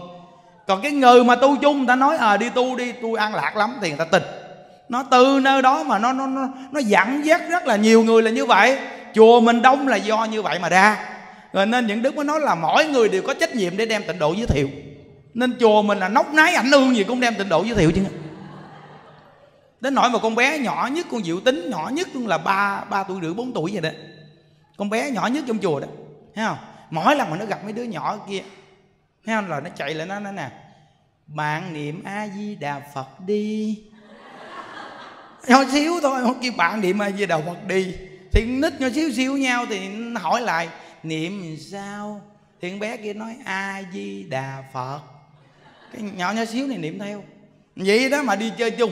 À nhỏ xíu vậy đó nghe trong chùa nhỏ xíu vậy đó. Mà mấy thằng trai nhỏ nhỏ nhỏ nhỏ ngoài đi vô á đây tu á theo mẹ rồi đó là lại là diệu tính lợi dặn. Tôi dặn bạn đi tham quan chùa. Ồ nhỏ xíu mà khôn lắm. Bạn tên gì vậy? Nhà đâu trời. Tên gì? Nhà đâu rồi nữa. Hỏi han đó. Nên từ nó vậy thấy chưa? Nó, nó nên con nít nó câu nít thấy chưa? À, nên tại sao mà con nít nó cũng thích vô chùa mình? Là vì nó vô chùa mình nó vui. Nhất là cái ngày chủ nhật chùa mình là tại sao con nít nó khoái lại đây? Vì nó có nguyên một nhóm bạn cùng niệm phật lễ phật chung nha nhau. Nên nó phái đi đến đây. Duyên ban đầu của nó rất là kém. Nhưng mà do cái duyên cộng duyên rất là đông, là đức chúng như biển. Từ nơi đó mà nó dơ đến đây, bây giờ nó thành một cái nhóm bạn mà chủ nhật chúng ta gặp nhau ở đây. Thấy không? Mà từng chủ nhật nào cũng gặp, từng chủ nhật nào cũng gặp, lâu ngày nó lớn lên nó trở thành là phật tử. Phật tử biết đi tu. Rất là hay thì thấy không? Đó. Cái duyên nó dẫn dắt từ từ từ từ từ từ. Nên mình làm ông bà cha mẹ là mình tạo duyên cho con cháu, tạo duyên cho con cháu, tạo duyên cho con cháu. Hôm qua những đứa gặp hai cái thằng trai này. Nó nhỏ lắm, thằng chắc 13 tuổi 11 tuổi. Mẹ nói một câu rất là hay. Ở nhà mẹ nghe pháp bật lên, hai đứa con cũng nghe. Mà nó có duyên, nó thích những đứa nói chuyện xong ở đầu là nó rất thi siêng niệm phật, lúc nào cũng đeo máy niệm phật. Mẹ nó nói một điều rất là lạ. Đứa con của con học không có giỏi thầy, mà lạ thay nó được chọn toàn là những trường tốt không? Nó ngộ vậy đó. Con tin chắc một trăm phần trăm là nhờ nó niệm phật mà cái phước nó đưa đẩy. Những đức nói một trăm phần trăm rồi còn gì nữa. Bây giờ điển hình đi, những đức học cái gì? Những đức mới là dở ác đạn nè nói đến lịch sử của những đức học thì thôi, lịch sử không dám ghi. À thì bị biết rồi. Bây giờ mấy mấy đứa nhỏ nó học không giỏi nhưng mà nó cũng giỏi. Mẹ nói là nó học không giỏi thầy, nó không giỏi quá đâu mà nó cũng được. Nhưng mà đặc biệt là nó được chọn những cái trường đặc biệt không à? Toàn là đưa đến những cái trường tuyệt vời không? Trường mà người ta học giỏi còn có khi vô không được. Mà nó lại vô được. Người ta lại chọn nó không à? Thì rõ ràng cái công đức niệm phật, quý vị thấy thù thắng chưa? Mà những đức gặp rất là nhiều người nói con của họ. Từ khi mà con nít biết niệm phật tới bây giờ, nó lạ thay cuộc đời của nó đặc biệt lắm. Thấy không? Vậy thì mấy nhỏ con gái cũng gì những đức nói rằng con gái nhỏ nhỏ trẻ trẻ này nè, mà gặp tịnh độ biết niệm phật ăn chay đó, sau này các con đỡ cái gì phá thai lắm. Nó không có bị dính cái nghiệp phá thai. Tại vì nó chuyển cái nghiệp phá thai rồi. Nó, chứ nếu không là không có tránh khỏi đâu. Không có tránh khỏi đâu thí dụ như ngoài đời mà sau này mà có chồng đi, còn trẻ trẻ gì mà biết tu, biết ăn chay niệm phật đồ, tu nhân tích đức đồ, làm làm lành lánh dữ nha sau này tự nhiên cái cái số phận của mình là sanh hai đứa con, là tự nhiên nó đúng, nó có thai hai lần nó sanh hai đứa. Chứ nó không có bị phá thai. Còn cái nghiệp mình mà nó nặng rồi là tự nhiên, trời ơi, nó sanh hai đứa mà nó phá ba bốn đứa. Ừ cái nghiệp nó phá thai là nó nó nó nó nó chưa chuyển được là nó phải phá thai liên tục nên từ nơi đó mà biết ăn chay niệm phật là những đức nó nó hay, cực kỳ hay. Mà con mình còn nhỏ nghe mà biết ăn chay niệm phật đó nghe quý vị, là cái đứa con quý vị sau này lớn lên có hiếu là chắc chắn. Chắc chắn luôn những đức nói. Quý vị dạy cho con cháu mình bây giờ và về về mà gọi là văn tự đồ giỏi nghe mình nói với nó về cái đạo hiếu đồ này kia nhiều nghe chưa chắc sau này nó hiếu. Nhưng mà ngộ thay cái công đức niệm phật trong cái thời mạt pháp này, nó rất là lạ có nghĩa là cái công đức niệm phật nó có thể làm cho con người ta từ ác thành hiền thành thiện. Mà từ không có phước thành có phước từ không có duyên thành có duyên luôn. Mà cái công đức niệm phật này phật đã chỉ điểm cái thờ mặt pháp này rồi. Có nghĩa là cái cái, cái thờ mặt pháp này là cái câu ai với đà phật này thế trì giới thế thiền định luôn. Mà nó nó nó thế tất cả những văn học rất nhiều luôn. Tại vì học không vô nổi mà cái công đức niệm phật niệm phật này vô nổi. Cái câu ai với đà phật này đi vô được mà phải tin chân thật mà tin. Cái người mà thiếu duyên niệm phật với có duyên cái người thiếu phước, niệm phật với có phước. Cái người mà buồn phiền, niệm phật với vui vẻ. Cái này là một trăm phần trăm cả chùa mình luôn. Cả chùa mình luôn. Bữa nào những đức quay một công đoạn mà tất cả các cụ già yếu ở trong chùa mình á, mà mười mấy, hai chục bà bà cười cho quý vị thấy. Đúng là mình phá huy được cái chuyện mà mấy bà già bà cười ngộ ghê luôn á. Chùa mà có cái bà dung á, mấy mấy mấy cô đến nhiều thì có bà dung nhỏ xíu con lùng xỉn luôn á. Bà cười ngộ lắm kêu bà, bà dung đâu bà cười lên thử cái bà dung. Bà cười nè. Mình nói tậu là trời bà cười thì giống phù thủy quá. Ồ, mà bà già chín mấy tuổi mà tiếng cười của bà? Ầm ầm ầm ầm vậy đó mà bà làm nó cười lắm kia mà mỗi bà một cách cười nghe.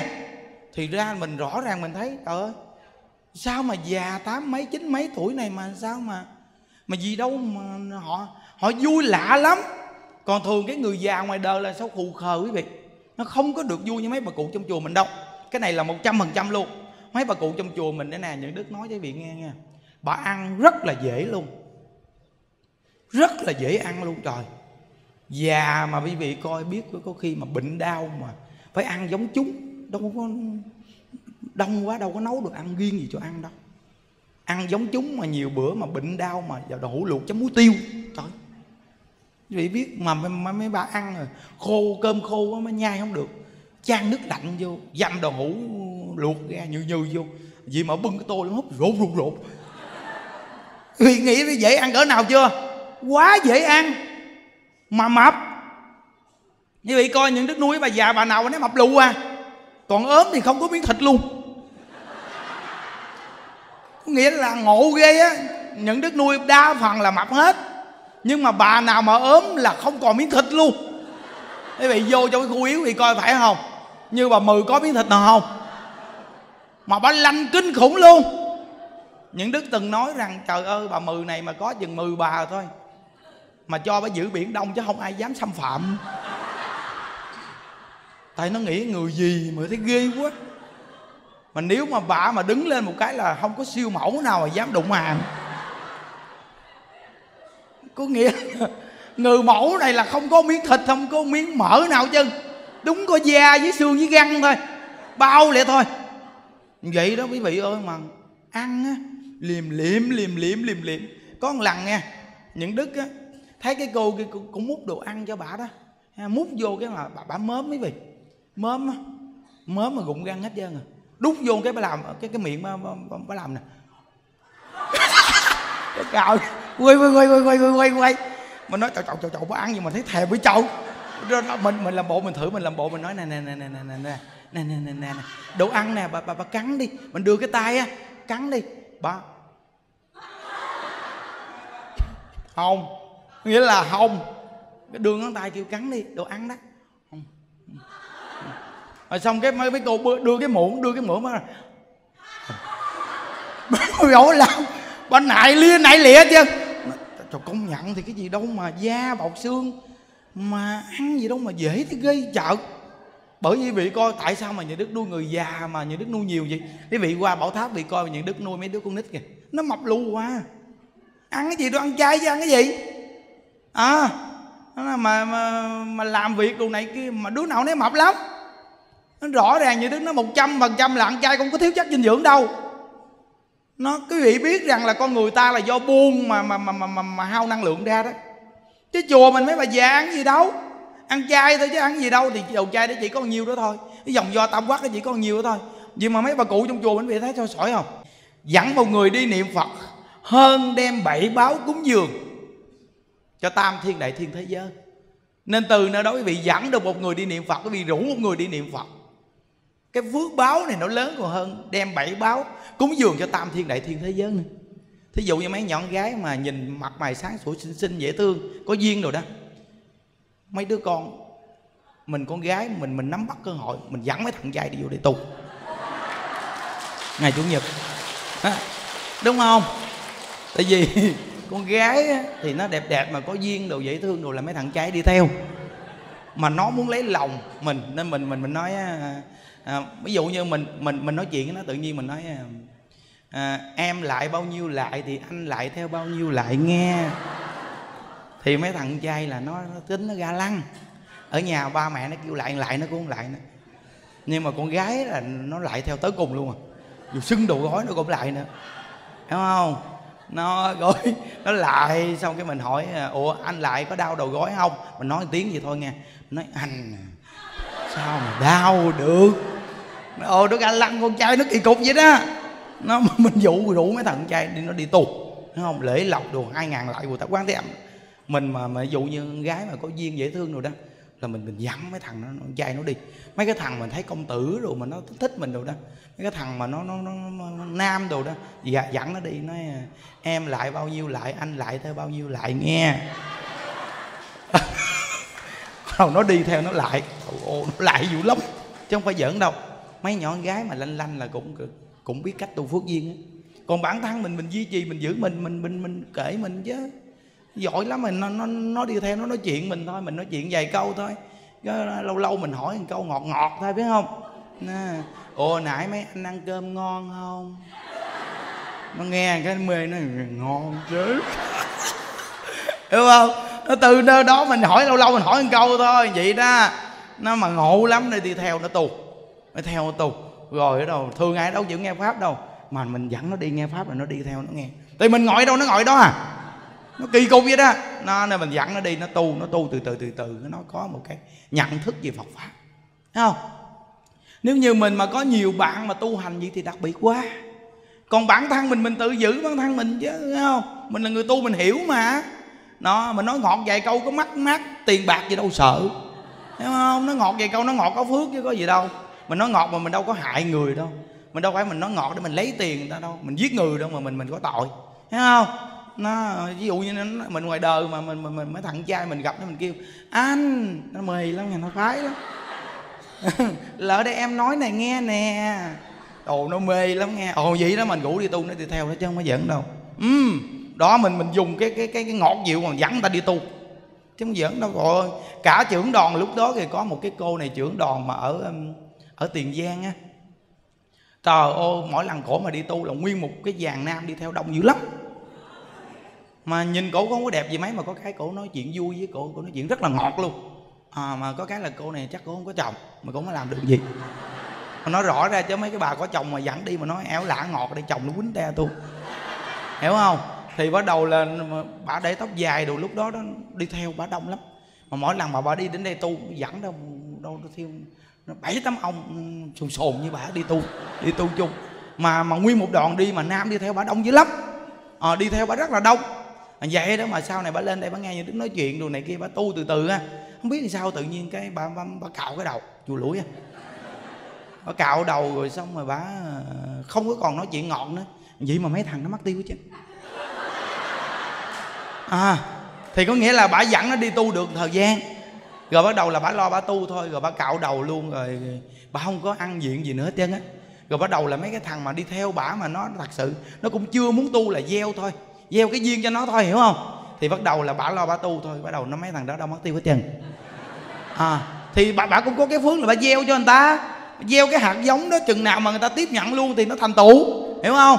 Có nghĩa là đức phật nói rằng là đi đến thế gian đức phật á, người nào mà đức phật gieo mà đủ duyên thì người ta thành tựu đời đó còn người nào mà chưa có đủ duyên thì đức phật gieo rồi thôi. Có nghĩa là mình không có mềm nặng nề, nhưng mà mình gieo cái thiện duyên cho người ta thì mình có duyên rồi có phước. Chứ mình đừng có đặt vấn đề là bây giờ tôi gieo phải thành tựu đời này, đừng có đặt vấn đề gì. Nhưng mà đối với chúng sanh mình cứ gieo, như một cơn mưa vậy thì cứ mưa đi, thì tự nhiên cây lớn hưởng theo lớn, cây nhỏ hưởng theo nhỏ. Còn đất đai đại địa thì hưởng theo đất đai đại địa. Có nghĩa là Phật pháp mình phải tùy duyên vậy đó, thì cái tâm của mình rất là thích tu phước tu duyên thấy không? Rất là thích tu phước tu duyên. Nên những người trưởng đoàn mà dẫn người đi tu, một là vui vẻ quan hỷ rồi ít gì con người cũng phải sáng sủa. Thì mình dẫn người ta đi tu, người ta đi tu theo đâu? Cái quan trọng sáng sủa nó là một cái duyên. Rồi thêm một cái nữa là con người dù là xấu nhưng mà cái duyên phải dày thì mới dẫn người ta đi tu đông được, hiểu không? Chứ không có đơn giản đâu quý vị. Chứ không phải là tự nhiên ai muốn dẫn người khác đi tu là dẫn đi đâu. Có những người trưởng đoàn người ta đi là người ta đi theo đông lắm. Nhưng mà có những người trưởng đoàn người ta không đi, vậy mà cái nhóm kia ta không đi. Tuy là những đức chia sẻ Phật pháp nhưng mà cái duyên của cái người đó nó nó có duyên với người chủ động đó vậy đó quý vị không có giỡn đó nghe. Ta nghe mình thì nghe vậy đó mà không có người kia đi cái tự nhiên người ta không biết à, sao người ta không muốn đi. Thì quý vị biết là cái duyên của cái người đó với một nhóm đó nó vậy. Đó nên mình đã nhìn được cái duyên vậy thì mình phải dẫn dắt người ta đi tu. Dẫn dắt nó đi niệm phật nó, thì quý vị biết rằng cái cô mà niệm phật mà hoa sen từ miệng từ cái miệng mà nở ra cái hoa sen á là cũng do người ta dẫn đi tu. Do người ta dẫn đi tu mà bắt được vậy đó. Nó nên từ nơi đó mà mình là trưởng đoàn mình đủ duyên mình dẫn người ta đi tu. Lễ lọc rồi mình dẫn người ta đi tu. Tội cái việc này là cái việc làm lớn lao nhất trong cái cuộc đời mình nè. Nó rất là lớn lao luôn á. Vậy thì mình mỗi người à, mình muốn cầu an cho người thân và cầu siêu cho người thân. Thì chính bản thân chúng ta là người nghe Phật pháp mà sửa đổi lỗi lầm nhớ nghe Phật pháp mà sửa đổi lỗi lầm. Đây là phương pháp cầu an và cầu siêu hữu hiệu nhất. Nếu như chúng ta nghe Phật pháp mà ừ, chúng ta à, chỉ là à, nghe cho có thôi chứ mình không có phương pháp tu. Rồi mình cũng à, không có nhận thức được cái việc sai của mình để sửa gì hết. Vậy thì cái việc nghe Phật pháp của mình nó vô ích. Nên Phật pháp là một phương pháp phương pháp để giúp chúng ta sửa đổi lỗi lầm. Gọi là đoạn ác tu thiện. Một con người mà thường đoạn ác mà tu thiện thì cái tâm trạng chúng ta nó thường vui nhiều lắm. Tại vì mình đem niềm vui cho người khác thì mình sẽ vui thôi vui là an đúng không? Còn mình thường á niệm niệm nghĩ gì người thì đây là cái tâm của mình là cầu siêu thoát. Mình mới niệm niệm nghĩ về người. Nên con người học đạo của chúng ta càng học lâu thì tâm lượng càng mở rộng. Nên ngày nay à, ngày lễ Phật Khánh chúng ta cũng tập trung được số lượng người rất là đông gì để chúng ta cùng niệm Phật. Bây giờ người ta nghỉ lễ 4 ngày bao nhiêu con người người ta đi chỗ này chỗ kia để người ta đi về quê hay đi chơi vậy đó. Vì thấy ngoài đường người ta đi cũng nhiều lắm nha giỡn đâu. Nhất là những cái nơi khu vui chơi đồ này kia. Ừ, chắc đông. Nay biển rồi chắc ngoài đó chắc đông lắm không nên là còn mình thì mình được ngồi đây nó bình yên à, giống như những đức ngày xưa mà chưa đi tu ngoài đời. Rồi lễ mà nghỉ được 4 ngày mình cũng lao theo. Tuy mình không phải làm việc ờ, nhà nước gì nhưng mà mình thấy nghỉ lễ mình cũng mong cho nghỉ được vài ngày. Không có tiền cũng cố gắng mượn tiền đi chơi. Đi nhậu nhẹt đồ tá lả bình.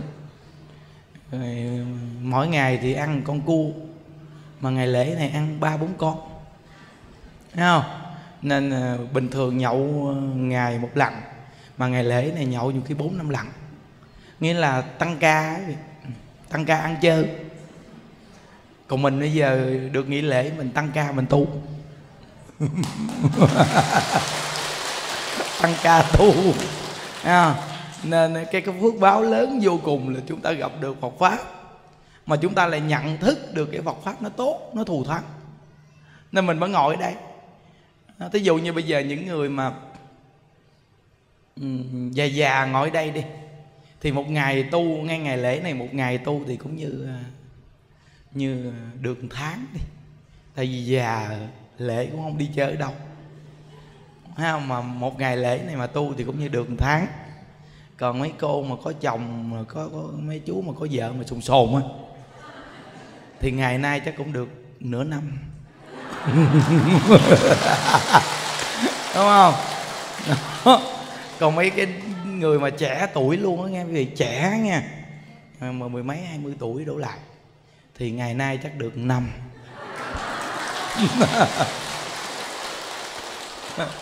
Nó nó nó nó theo cái khó mà để thành tựu. Nó nó khó chừng nào thì thành tựu nhiều nấy nghĩa là già đã không đi chơi thì vô chùa tu là bình thường chọn chỗ bình an. Yên yên đừng có ồn náo còn sồn sồn có vợ chồng mà dẫn vô tu thì thì đã có vợ chồng là hiểu nhiều quá à. thì cũng không muốn đi chơi nữa thì vô đây thì thì nó cũng được lợi ích lớn lắm nhưng mà nó thua cái người trẻ hoàn toàn. Trẻ là mê chơi trong cái lúc này là cái lúc đi chơi háo hức mà lại chịu vô chùa ngồi đây thì nó vô cùng quý. Phật pháp là nó, nó ngay cái chỗ là khó chừng nào mà mình tu được thì nó càng quý chừng này. Thấy không? Thí dụ như cái ngày lễ gì ở ngoài trời nó đi chơi quá trời. Gì mà tuổi trẻ vô đây ngồi đây. À, mà có khi mà vô đây tu đồ mà ăn chay nằm đắt nằm đông đúc người ta đó là cái điều quý vô cùng. Cái quý đó nó nó nó tích tụ cho mình cả đời của mình phước báo. Mà con người có phước báo thì cái sự nghiệp nó mới lớn lao được. Con người không có phước báo mình làm ăn gì cũng được vậy khi con người nó có phước báo thì sự nghiệp nó phát triển rất là lớn mà khi con người phước báo nó dày, nó biết nhìn được cái chỗ để bình an mình chọn. Con người nó có phước, nó biết tìm cái chỗ an vui thật sự của nó. Nó gọi là hướng thượng, hiểu, biết hướng thượng. Còn thí dụ như cái người mình mà thiếu phước mình cũng vui chơi, nhưng mà mình vui chơi cái cách tiêu cực. Thí dụ như bây giờ bữa nay mình nhậu xỉn say vô cùng, ngày mai mình mệt là tiêu cực chứ gì? Còn bữa nay mình đi chùa mình tu, hoặc là bốn ngày mình ở đây mình tu, thì bắt đầu là tới cái ngày mình đi làm, sáng thứ hai là mình tỉnh veo. Đó là tích cực rõ ràng. Bây giờ quý vị coi, bây giờ nếu mà làm công ty xí nghiệp chung với những người người ta không tu đi, mà bốn ngày này người ta nghĩ đi, vừa người ta xài tiền rất là nhiều nha. Xài tiền rất là nhiều. Những đức nói rằng là lúc trước mà những đức mà nghỉ lễ đó là những đức có thể xài hai, ba tháng lương. Ờ như đức xài hai, ba tháng lương hết chân tiền luôn. Mà không có tiền như đức cũng đi mượn mấy tháng lương như đức xài luôn. Tại vì lâu lâu nghỉ lễ một bữa. Ra đường đi chơi cũng phải ra lăng chút xíu. Nghèo thì nghèo, vài bữa đi. Bữa nay giàu một bữa nay nè. nó thấy không? Mà mà mà qua lễ xong nó nghe, mệt chứ lắm. Mà cái cảm giác khi qua lễ xong mà nhớ đến cái tiền mình xài dù cái công mình bỏ ra mấy tháng mà mà xài có bữa hai bữa bắt đầu tiếc. Xài xong tiếc. Mà tiếc mà còn mệt nữa. Rồi bắt đầu là làm cái nhìn ngày nay làm mà mệt gì, mà được có chút xíu tiền mà xài. Có mấy ngày mà hết nhiều mấy tháng mấy tháng lương. Bắt đầu là vừa tiếc mà vừa làm mệt mỏi vừa làm mà cái cảm giác nó là nó chán làm dữ lắm mà bắt buộc phải làm. Không làm ta đuổi thì sao? Nó không, cái cảm giác đó còn bây giờ mà ba, bốn ngày ở đây tu, ngày nó tăng phước duyên. Mà khi tăng phước duyên là tâm nó an, nó vui.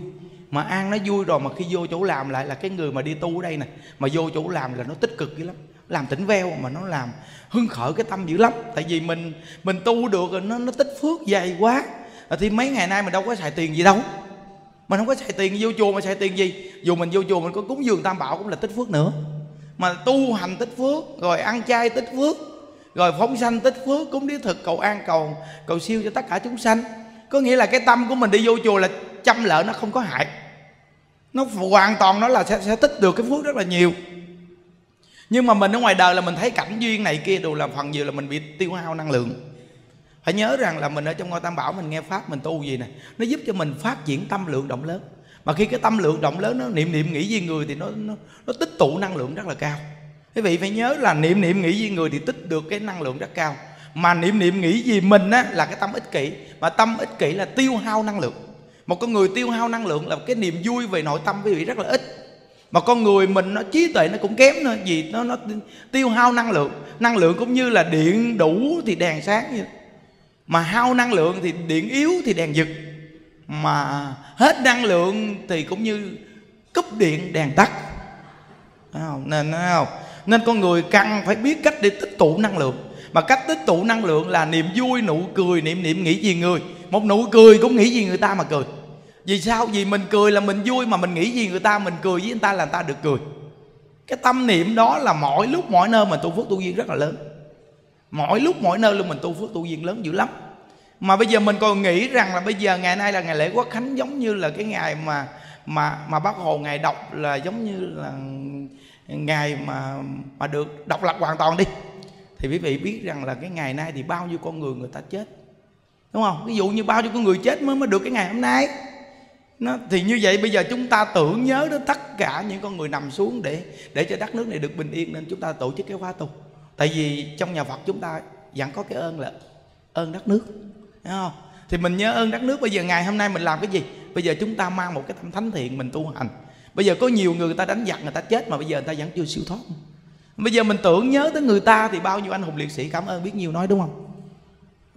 Thì quý vị mới thấy Phật pháp sâu sắc vô cùng rất là sâu sắc luôn. Có thể lễ này người ta có thể đi đi đến nghĩa trang liệt sĩ này kia người ta đọc một số về về cái, cái di tích gì đó, một số người người ta đã từng anh hùng sao sao, đúng không? Nhưng mà xong một chút hoặc là người ta thắp cho mộ anh hùng liệt sĩ nén nhang nén nhang nén nhang, đúng không? Nhưng nếu quý vị cả một cái đại chúng này bị tu nghe, cái quay lực niệm phật này mới bị hồi hướng người ta đó. Trời nó không có đơn giản đâu quý vị ơi. Nó lớn dữ lắm, thật sự. Người tu mình mình tin một trăm phần trăm luôn. Đó. Nên nên chúng ta có một cái tâm vậy thì cái cái phước duyên nó lớn dữ lắm mà mình hồi hướng đây không phải riêng anh hùng liệt sĩ không mà mà cho tất cả những người chết vì chặn dịch bệnh covid này kia mà mà chưa được siêu thoát. Mình niệm niệm mình nghĩ với người ta thì cái cái chư hương linh á, người ta chưa siêu thoát người ta cảm ơn. Mình biết bao nhiêu nói không? Mà chư hương linh người ta đã cảm ơn mình rồi thì thì quý vị biết rằng thì hương linh cũng như là một con người. Mình nghĩ với người ta thì người ta cảm ơn mình mà cảm ơn mình thì người ta không làm phiền mình. À, thí dụ như đây cũng có nhiều cô từng mang nghiệp phá thai. Thì bây giờ mình nương vào cái cái ngày hôm nay để mà mình hồi hướng cho người ta luôn mà ngày hôm nay những đứa phóng sanh cũng nhiều cũng đi thực nhiều. Thường chủ nhật những đứa cúng đi thực 3 triệu nay những đứa cúng đi thực luôn 4 triệu. Nó nghĩa là mình mời khách tặng quà, hiểu không? Quý vị. Đó, nên từ nơi đó cái tâm mình niệm niệm đối với người sống, cái tâm mình niệm niệm đối với người chết, mình tin ngoài cảnh giới của mình là người sống, còn cảnh giới những người chết chưa siêu thoát. Người ta rất là buồn, người ta rất là khổ. Mình chỉ cần có một cái quan niệm nghĩ ngợi, quan tâm cho người ta một chút, thì tự nhiên cái tâm đó người ta cảm ơn. Nên phải có cái tâm niệm niệm như vậy đó và thêm mỗi một người chúng ta là nghiệp quán thân trái chủ. Nhiều đời nhiều kiếp của mình đã từng não hại từ vô tình hay cố ý. Nhiều lắm ta theo mình. Thì bây giờ mình đi vô chùa người ta đi vô chùa mình nghe pháp người ta nghe pháp. Mà mình nghe pháp mình an vui mình cởi mở tâm tư. Thì đây gọi là nghiệp chướng tiêu trừ. Đây là cái cầu an cầu siêu bằng cái cái cách nghe pháp. Nên đức thích ca mâu ni tại sao ngài dùng thuyết pháp 49 năm? Vì thuyết pháp nó mới cởi mở tâm tư. Con người á, nó có phương hướng là nhờ nó nó nó được nghe một tư tưởng. Quý vị mới nhớ thí dụ như mình tu tịnh độ mà mình tu cả đời là do gì? Mình được bồi dưỡng và nhận thức. Mình thấy cái pháp tu này nó thù thắng là do mình áp dụng. Mình áp dụng mình được lợi ích rồi mình đã nhắm mục tiêu rồi thì tức khắc cả đời mình tu mình không có thay đổi cái phương pháp. Tại vì sao? Vì mình đã đã, đã, đã, đã nhận thức được cái pháp và mình được bổ túc cái pháp nên từ nơi đó mà mình không bỏ cuộc. Còn nếu như mà bây giờ mình nghe rồi mình tu mà mình không cần nghe nữa rồi thời gian nó lạc cái pháp. Khi nó lạc rồi nó chuyển phương hướng nó không còn duy trì tu lâu dài nên muốn tu cái pháp môn tịnh độ này lâu dài phải gầy dựng và phải áp dụng trong những lúc khó khăn, trở ngại mà vẫn áp dụng. Khi áp dụng mà vượt qua được rồi thì lòng tin nó vượt trội vượt trội vượt trội lên. Nó hừng hực cái tâm mình để niệm phật vậy đó. Vậy thì cả đời quý vị mà tu pháp môn tịnh độ thì chắc chắn là quý vị thành công. Nên cái công đoạn những đức nói rằng là được làm người và gặp được pháp môn niệm phật, không có gì vui sướng bằng. Ừ. hạnh phúc vô cùng. Đó nên bây giờ mình viết Phật pháp mình mới thấy mình cái cách hưởng thụ của mình nhận thức đó nha. Mình nhận thức thôi bây giờ mình không nói những người người ta không tu đi. Bây giờ chúng ta là được hưởng thụ trong Phật pháp đó là hạnh phúc nhất. Nếu như bây giờ cái cái câu này mà mà đưa cho những đức à, khoảng 15 à, năm về trước là những đức phớt hoàng bên liền. Là duyên chưa đến. Bây giờ mình nói câu này cho một người mà duyên chưa đến người ta cũng phớt à ta không ngó ngàng đến đâu. Như vị đưa cho những đức cái câu này mà 15 năm về trước những đức sẽ vớt qua bên liền. Tại những đức tu bây giờ là gần 14 năm. Vậy thì cái cái 15 năm về trước là những đức ừ, bây giờ là ngày lễ này những đức còn ăn chơi. Ha, 15 năm về trước. Bây giờ vì lỡ vì nói thầy ơi hưởng thụ trong chùa là chú ơi hưởng thụ trong chùa là thù thắng nhất. Gì chùa? Chùa. Chuẩn bị đi nhà hôn mà chùa đúng không? Không bao giờ. Ừ, phớt vào bên liền, thấy không? Đâu có chấp nhận đâu. Nhưng mà bây giờ do mình ở trong ngôi tam bảo, thì phải nhớ nha, mình đến ngôi tam bảo, mình ở ngôi tam bảo, mình an lạc với một cái pháp tu. Mình cảm giác ăn chay niệm phật là điều thù thắng, là mình cảm giác rồi. Mình làm, mình hành trì rồi, mình lợi ích rồi. Thì từ nơi đó thì chính mình có cảm giác này. Còn đối với gia đình, người thân mình hay bạn bè mình là người ta chưa có làm điều này. Nên mình nói người ta người ta không chịu tiếp nhận và người ta còn phớt lờ, người ta có khi còn nói mình là mình là già của lưu sĩ gì, đúng không? Thì mình không có trách người ta vì người ta chưa có cảm giác này. Còn mình thì được cái cảm giác này nên mình mừng là cái duyên phước của mình, là mình gặp được cái duyên như vậy nên thù thắng quá. Chứ nếu như bây giờ mình không gặp Phật pháp là bây giờ mình cũng đi chơi, đi ăn nhậu này kia đồ. Gọi là lễ lộc này, mình đi du lịch chỗ này chỗ kia chơi rồi thấy không? Nhưng mà bây giờ giờ nay mà mình được ngồi đây rồi đặc biệt vô cùng. Ngồi đây tu xong mà chiều mà ai ở lại tu luôn hết ngày chủ nhật nó tuyệt vời ở trong chùa bình yên vừa đỡ tốn gạo nhà mà lại có phước.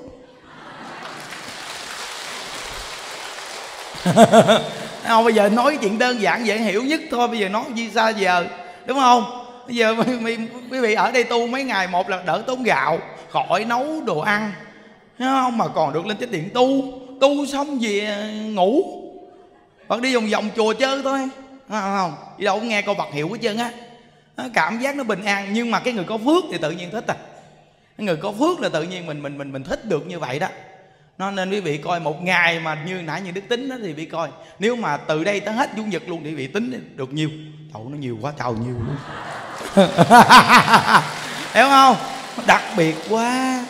Đó, nên mỗi một con người chúng ta, khi mình mà nghe người ta ừ, nung đúc tinh thần thì hứng thú. Thấy cái việc tu này là thù thắng rồi. Nên quý vị coi tuy là cái công đức niệm phật là vô lượng. Nghe không? Chưa có nghe nói cái cái cái cái, cái thứ nghe thuyết pháp vô lượng nghe. Nói cái công đức niệm phật là vô lượng. Nhưng mà thuyết pháp nó nó nó hỗ trợ cho cái chuyện niệm phật lớn. Thấy không? Nếu mà chùa mình mà chỉ niệm phật không mà không thuyết pháp quý vị không có đến đây đông gì đâu. Nhưng chùa mình là do thuyết pháp nên mới đi đến đây đâu. Rồi người ta mới cảm giác niệm phật. Biết rằng là niệm phật là vô lượng công đức nhưng mà nếu không thuyết pháp là không đến niệm phật.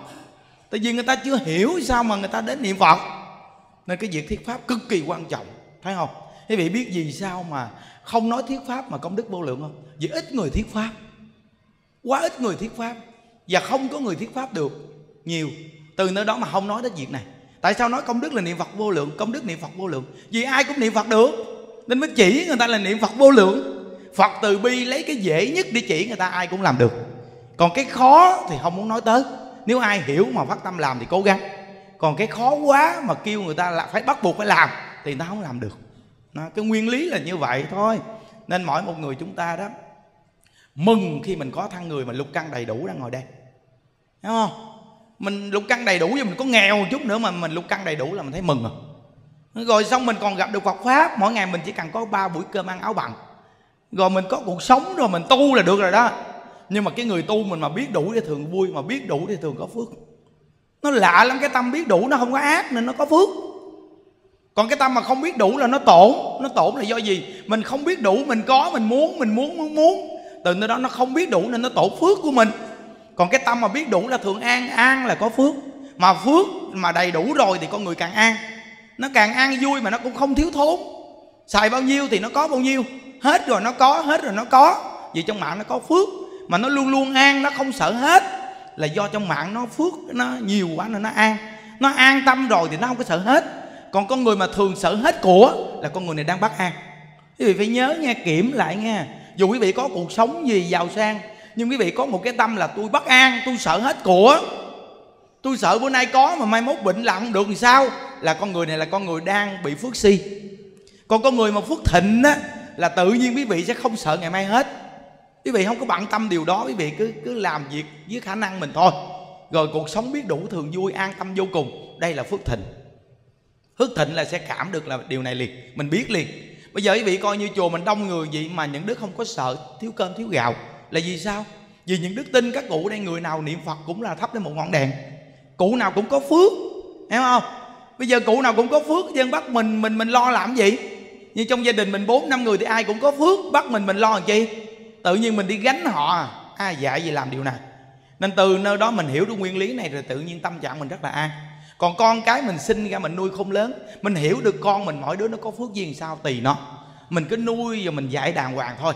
Còn cái chuyện phước duyên của con là chuyện phước duyên của con. Chứ mình không có ôm đàm mà nặng nề gánh nó trên vai. Vậy là quý vị là người có trí tuệ.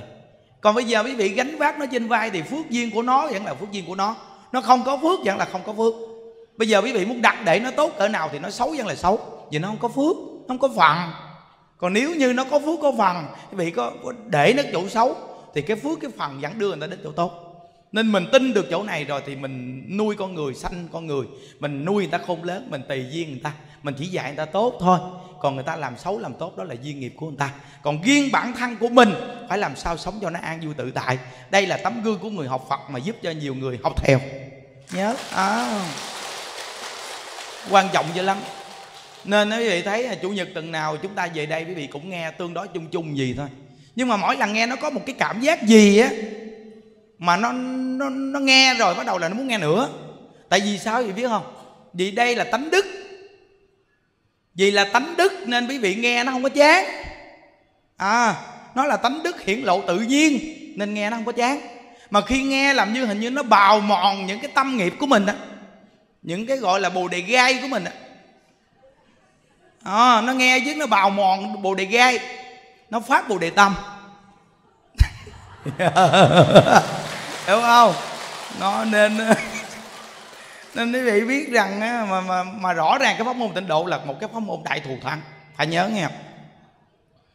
Sửa đổi lỗi lầm tu nhân tích đức đó là cầu an cầu siêu cho người thân. Nhớ sửa đổi lỗi lầm tu nhân tích đức, đó là cầu an, cầu siêu cho người thân à, chính bản thân của chúng ta nó có sự câu thông với tất cả thân bằng quyến thuộc của mình, dù còn sống hay đã chết. Nó có sự câu thông và có một cái sợi dây duyên nghiệp. Nên bản thân của chúng ta mà biết tu nhân tích đức, biết sửa đổi lỗi lầm, đó là cầu an, cầu siêu cho người thân xác thực một trăm phần trăm. Dù cha mẹ mình chết chưa được siêu thoát, bây giờ chúng ta là người biết tu hành, đó là cái mà mỗi ngày mình đang cầu an, cầu siêu cho người thân mình đó. Thôi chúc quý vị an lạc nha. Ai di đầu phật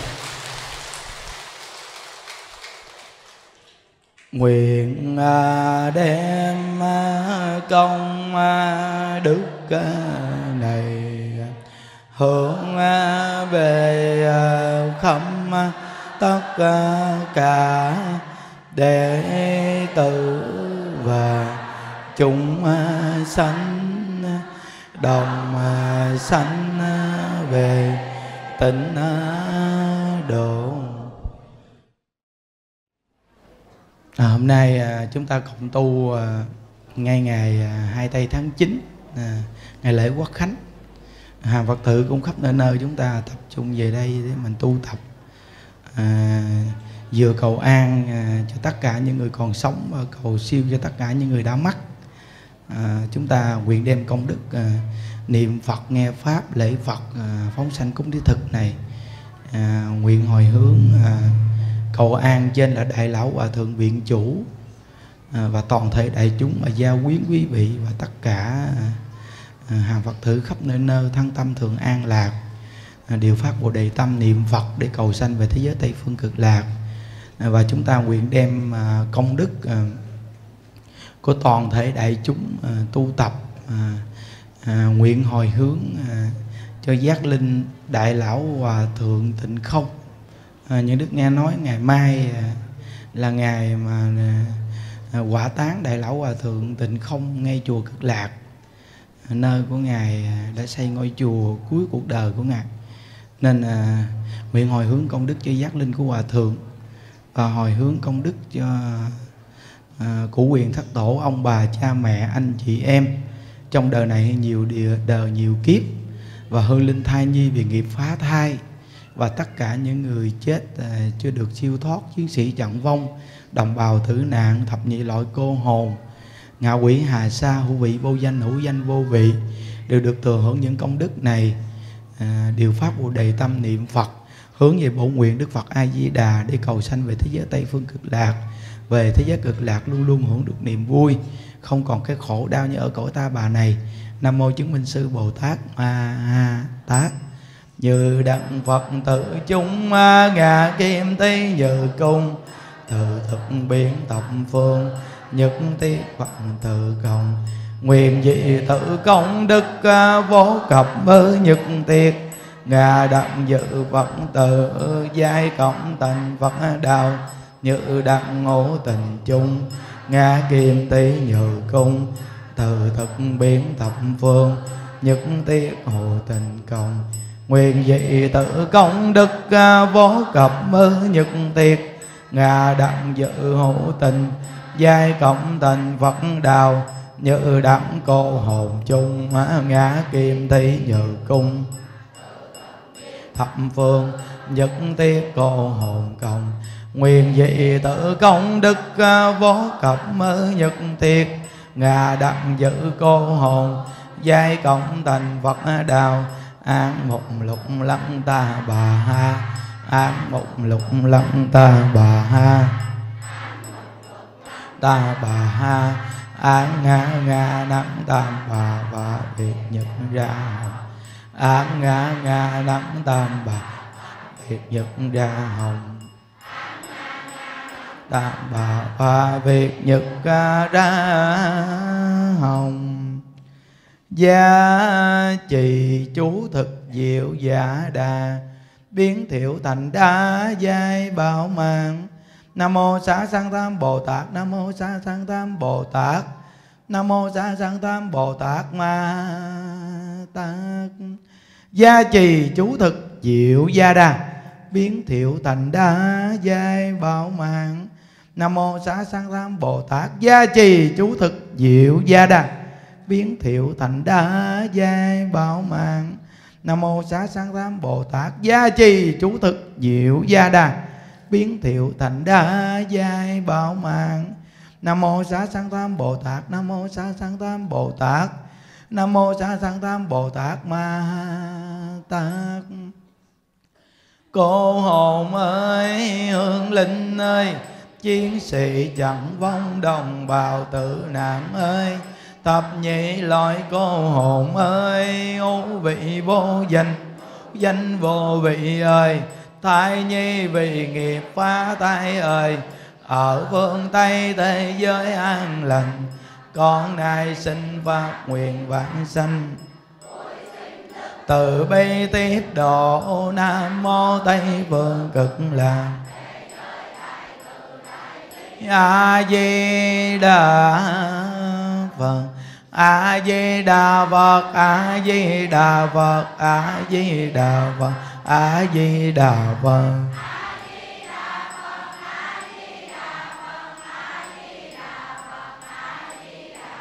a di đà phật a di đà phật a di đà phật a di đà phật a di đà phật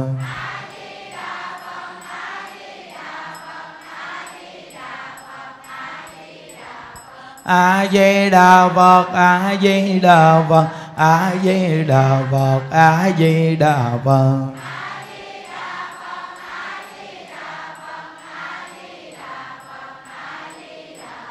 a di đà phật a di đà phật a di đà phật a di đà phật a di đà phật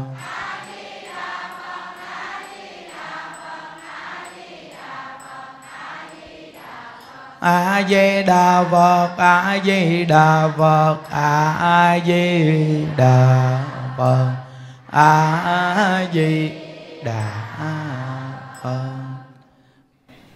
à, chúng ta làm lễ phóng sanh nha. À, chúng ta nhiều đời nhiều kiếp à, vì cái tội sát sanh mà bây giờ chúng ta có khi gặp à, nhau có khi là quán thù từ à, giết hại nhau. Nên à, đức phật nói trong kinh rằng à, à, chúng sanh cứ ăn nuốt lẫn nhau. À, người chết làm dê dê chết làm người. Cứ là thay hình đổi xác làm hoài. Từ nơi cái lục đạo luân hồi xây chuyển. Có khi đời này mình làm cha mẹ người ta mà mình do à, cũng vì nuôi con à, tạo nhiều nghiệp chướng sát sanh hại vật. Có khi mình chết đi cái mình đọ làm súc sanh. Con của mình thì nó thấy con gà con vịt con heo, con chó đó, nó đâu có biết rằng đó là nghiệp duyên mà ông bà cha mẹ đã tạo bây giờ làm loài súc sanh đâu. Thì con mình nó ăn mình. Cái bắt đầu tiếp tục nghiệp quả xoay chuyển hoài mà chúng ta cứ là ăn nuốt lẫn nhau. Nên đời này mình nghe đạo, mình biết tu hành. Mình phát cái tâm từ bi, mình ăn chay mà còn biết phóng sanh. Thì biết rằng cái tâm trạng của một con người mà khi học Phật hiểu được định lực nhân quả, mình biết ăn chay, niệm Phật, phóng sanh thì tức khắc tâm tính quý vị thay đổi liền. Từ một con người khó tính, giận hờn, sân si, khó chịu, không được vui, nhưng mà từ khi niệm phật ăn chay phóng sanh là tự nhiên tâm trạng nó nhẹ nhàng. Và có những người bệnh đau mà nặng nề, không có thuốc trị, nhưng mà phát tâm ăn chay phóng sanh, tự nhiên nó quá giải cái nghiệp, lại khỏe. Thì biết cái công đức phóng sanh nó lớn vô cùng.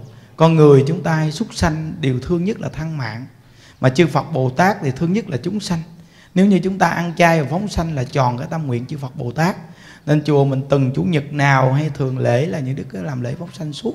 Nhưng ngày hôm nay, ngày 2 tháng 9 chúng ta tổ chức khóa tu nguyên ngày, nên chiều nay cũng tiếp tục chúng ta chia sẻ Phật pháp, niệm Phật, lễ Phật, rồi phóng sanh cũng đi thực rất là lớn. Nên mình về đây thì cụ quyền thất tổ ông bà, cha mẹ, người thân hay những người mang nghiệp phá thai, có khi người ta chưa siêu thoát, người ta cũng về đây nên từ nơi đó mà mình về đây mình dự khóa tu này để cầu siêu cho người ta.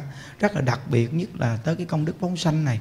Khi mình thả chim mà chim nó bay đi, nó vui vẻ, tâm trạng con người mình cũng thoải mái. Khi mình thả mấy con chim này bay đi, cái tâm quan hỷ, vui vẻ, vỗ tay niệm phật lớn lên. Vô cùng quan hỷ cái những con chim nó bay đi. Thì cái tâm đó là gọi là tu cái hạnh vô ý thí. Thì phước duyên và tâm trạng của người rất là thoải mái và vui vẻ chúng ta quy Phật quy pháp cho tất cả những con chim này. Khi nghe được pháp môn tịnh độ, khi được thả ra thì ở trong chùa nghe được danh hiệu Phật, khi xả thân thì nên hướng về thế giới tây phương cực lạc. Nam mô chứng minh sư bồ tát ma ha tát. Quy Phật không đọa địa ngục, quy pháp không đọa ngạo quỷ, quy tăng không đọa bàn sanh, quy Phật không đọa địa ngục, quy pháp không đọa ngạo quỷ, quy tăng không đọa bàn sanh, quy Phật không đọa địa ngục quy pháp không độ ngạo quỷ quy tăng không độ bàn sanh. À, chúng ta đồng niệm phật lớn lên vỗ tay thả chim nha. A di đà phật a di đà phật a di đà phật a di đà phật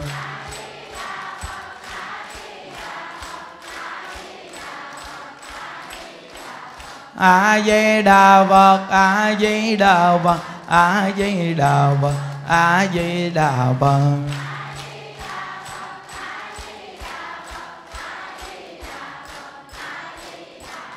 a di đà phật a di đà phật a di đà phật a di đà phật a di đà phật a di đà phật đà phật a di đà phật a di đà phật a di đà phật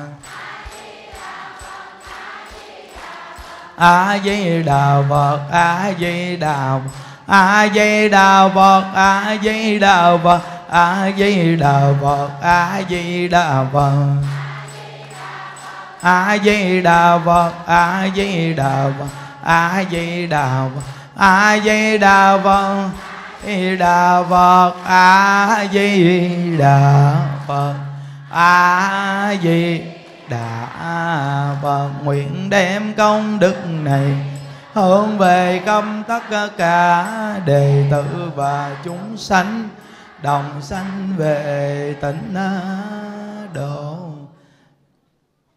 À, giờ mời đại chúng chúng ta xuống ra đường dùng cơm nghe chúc quý vị an lạc. A di đà phật.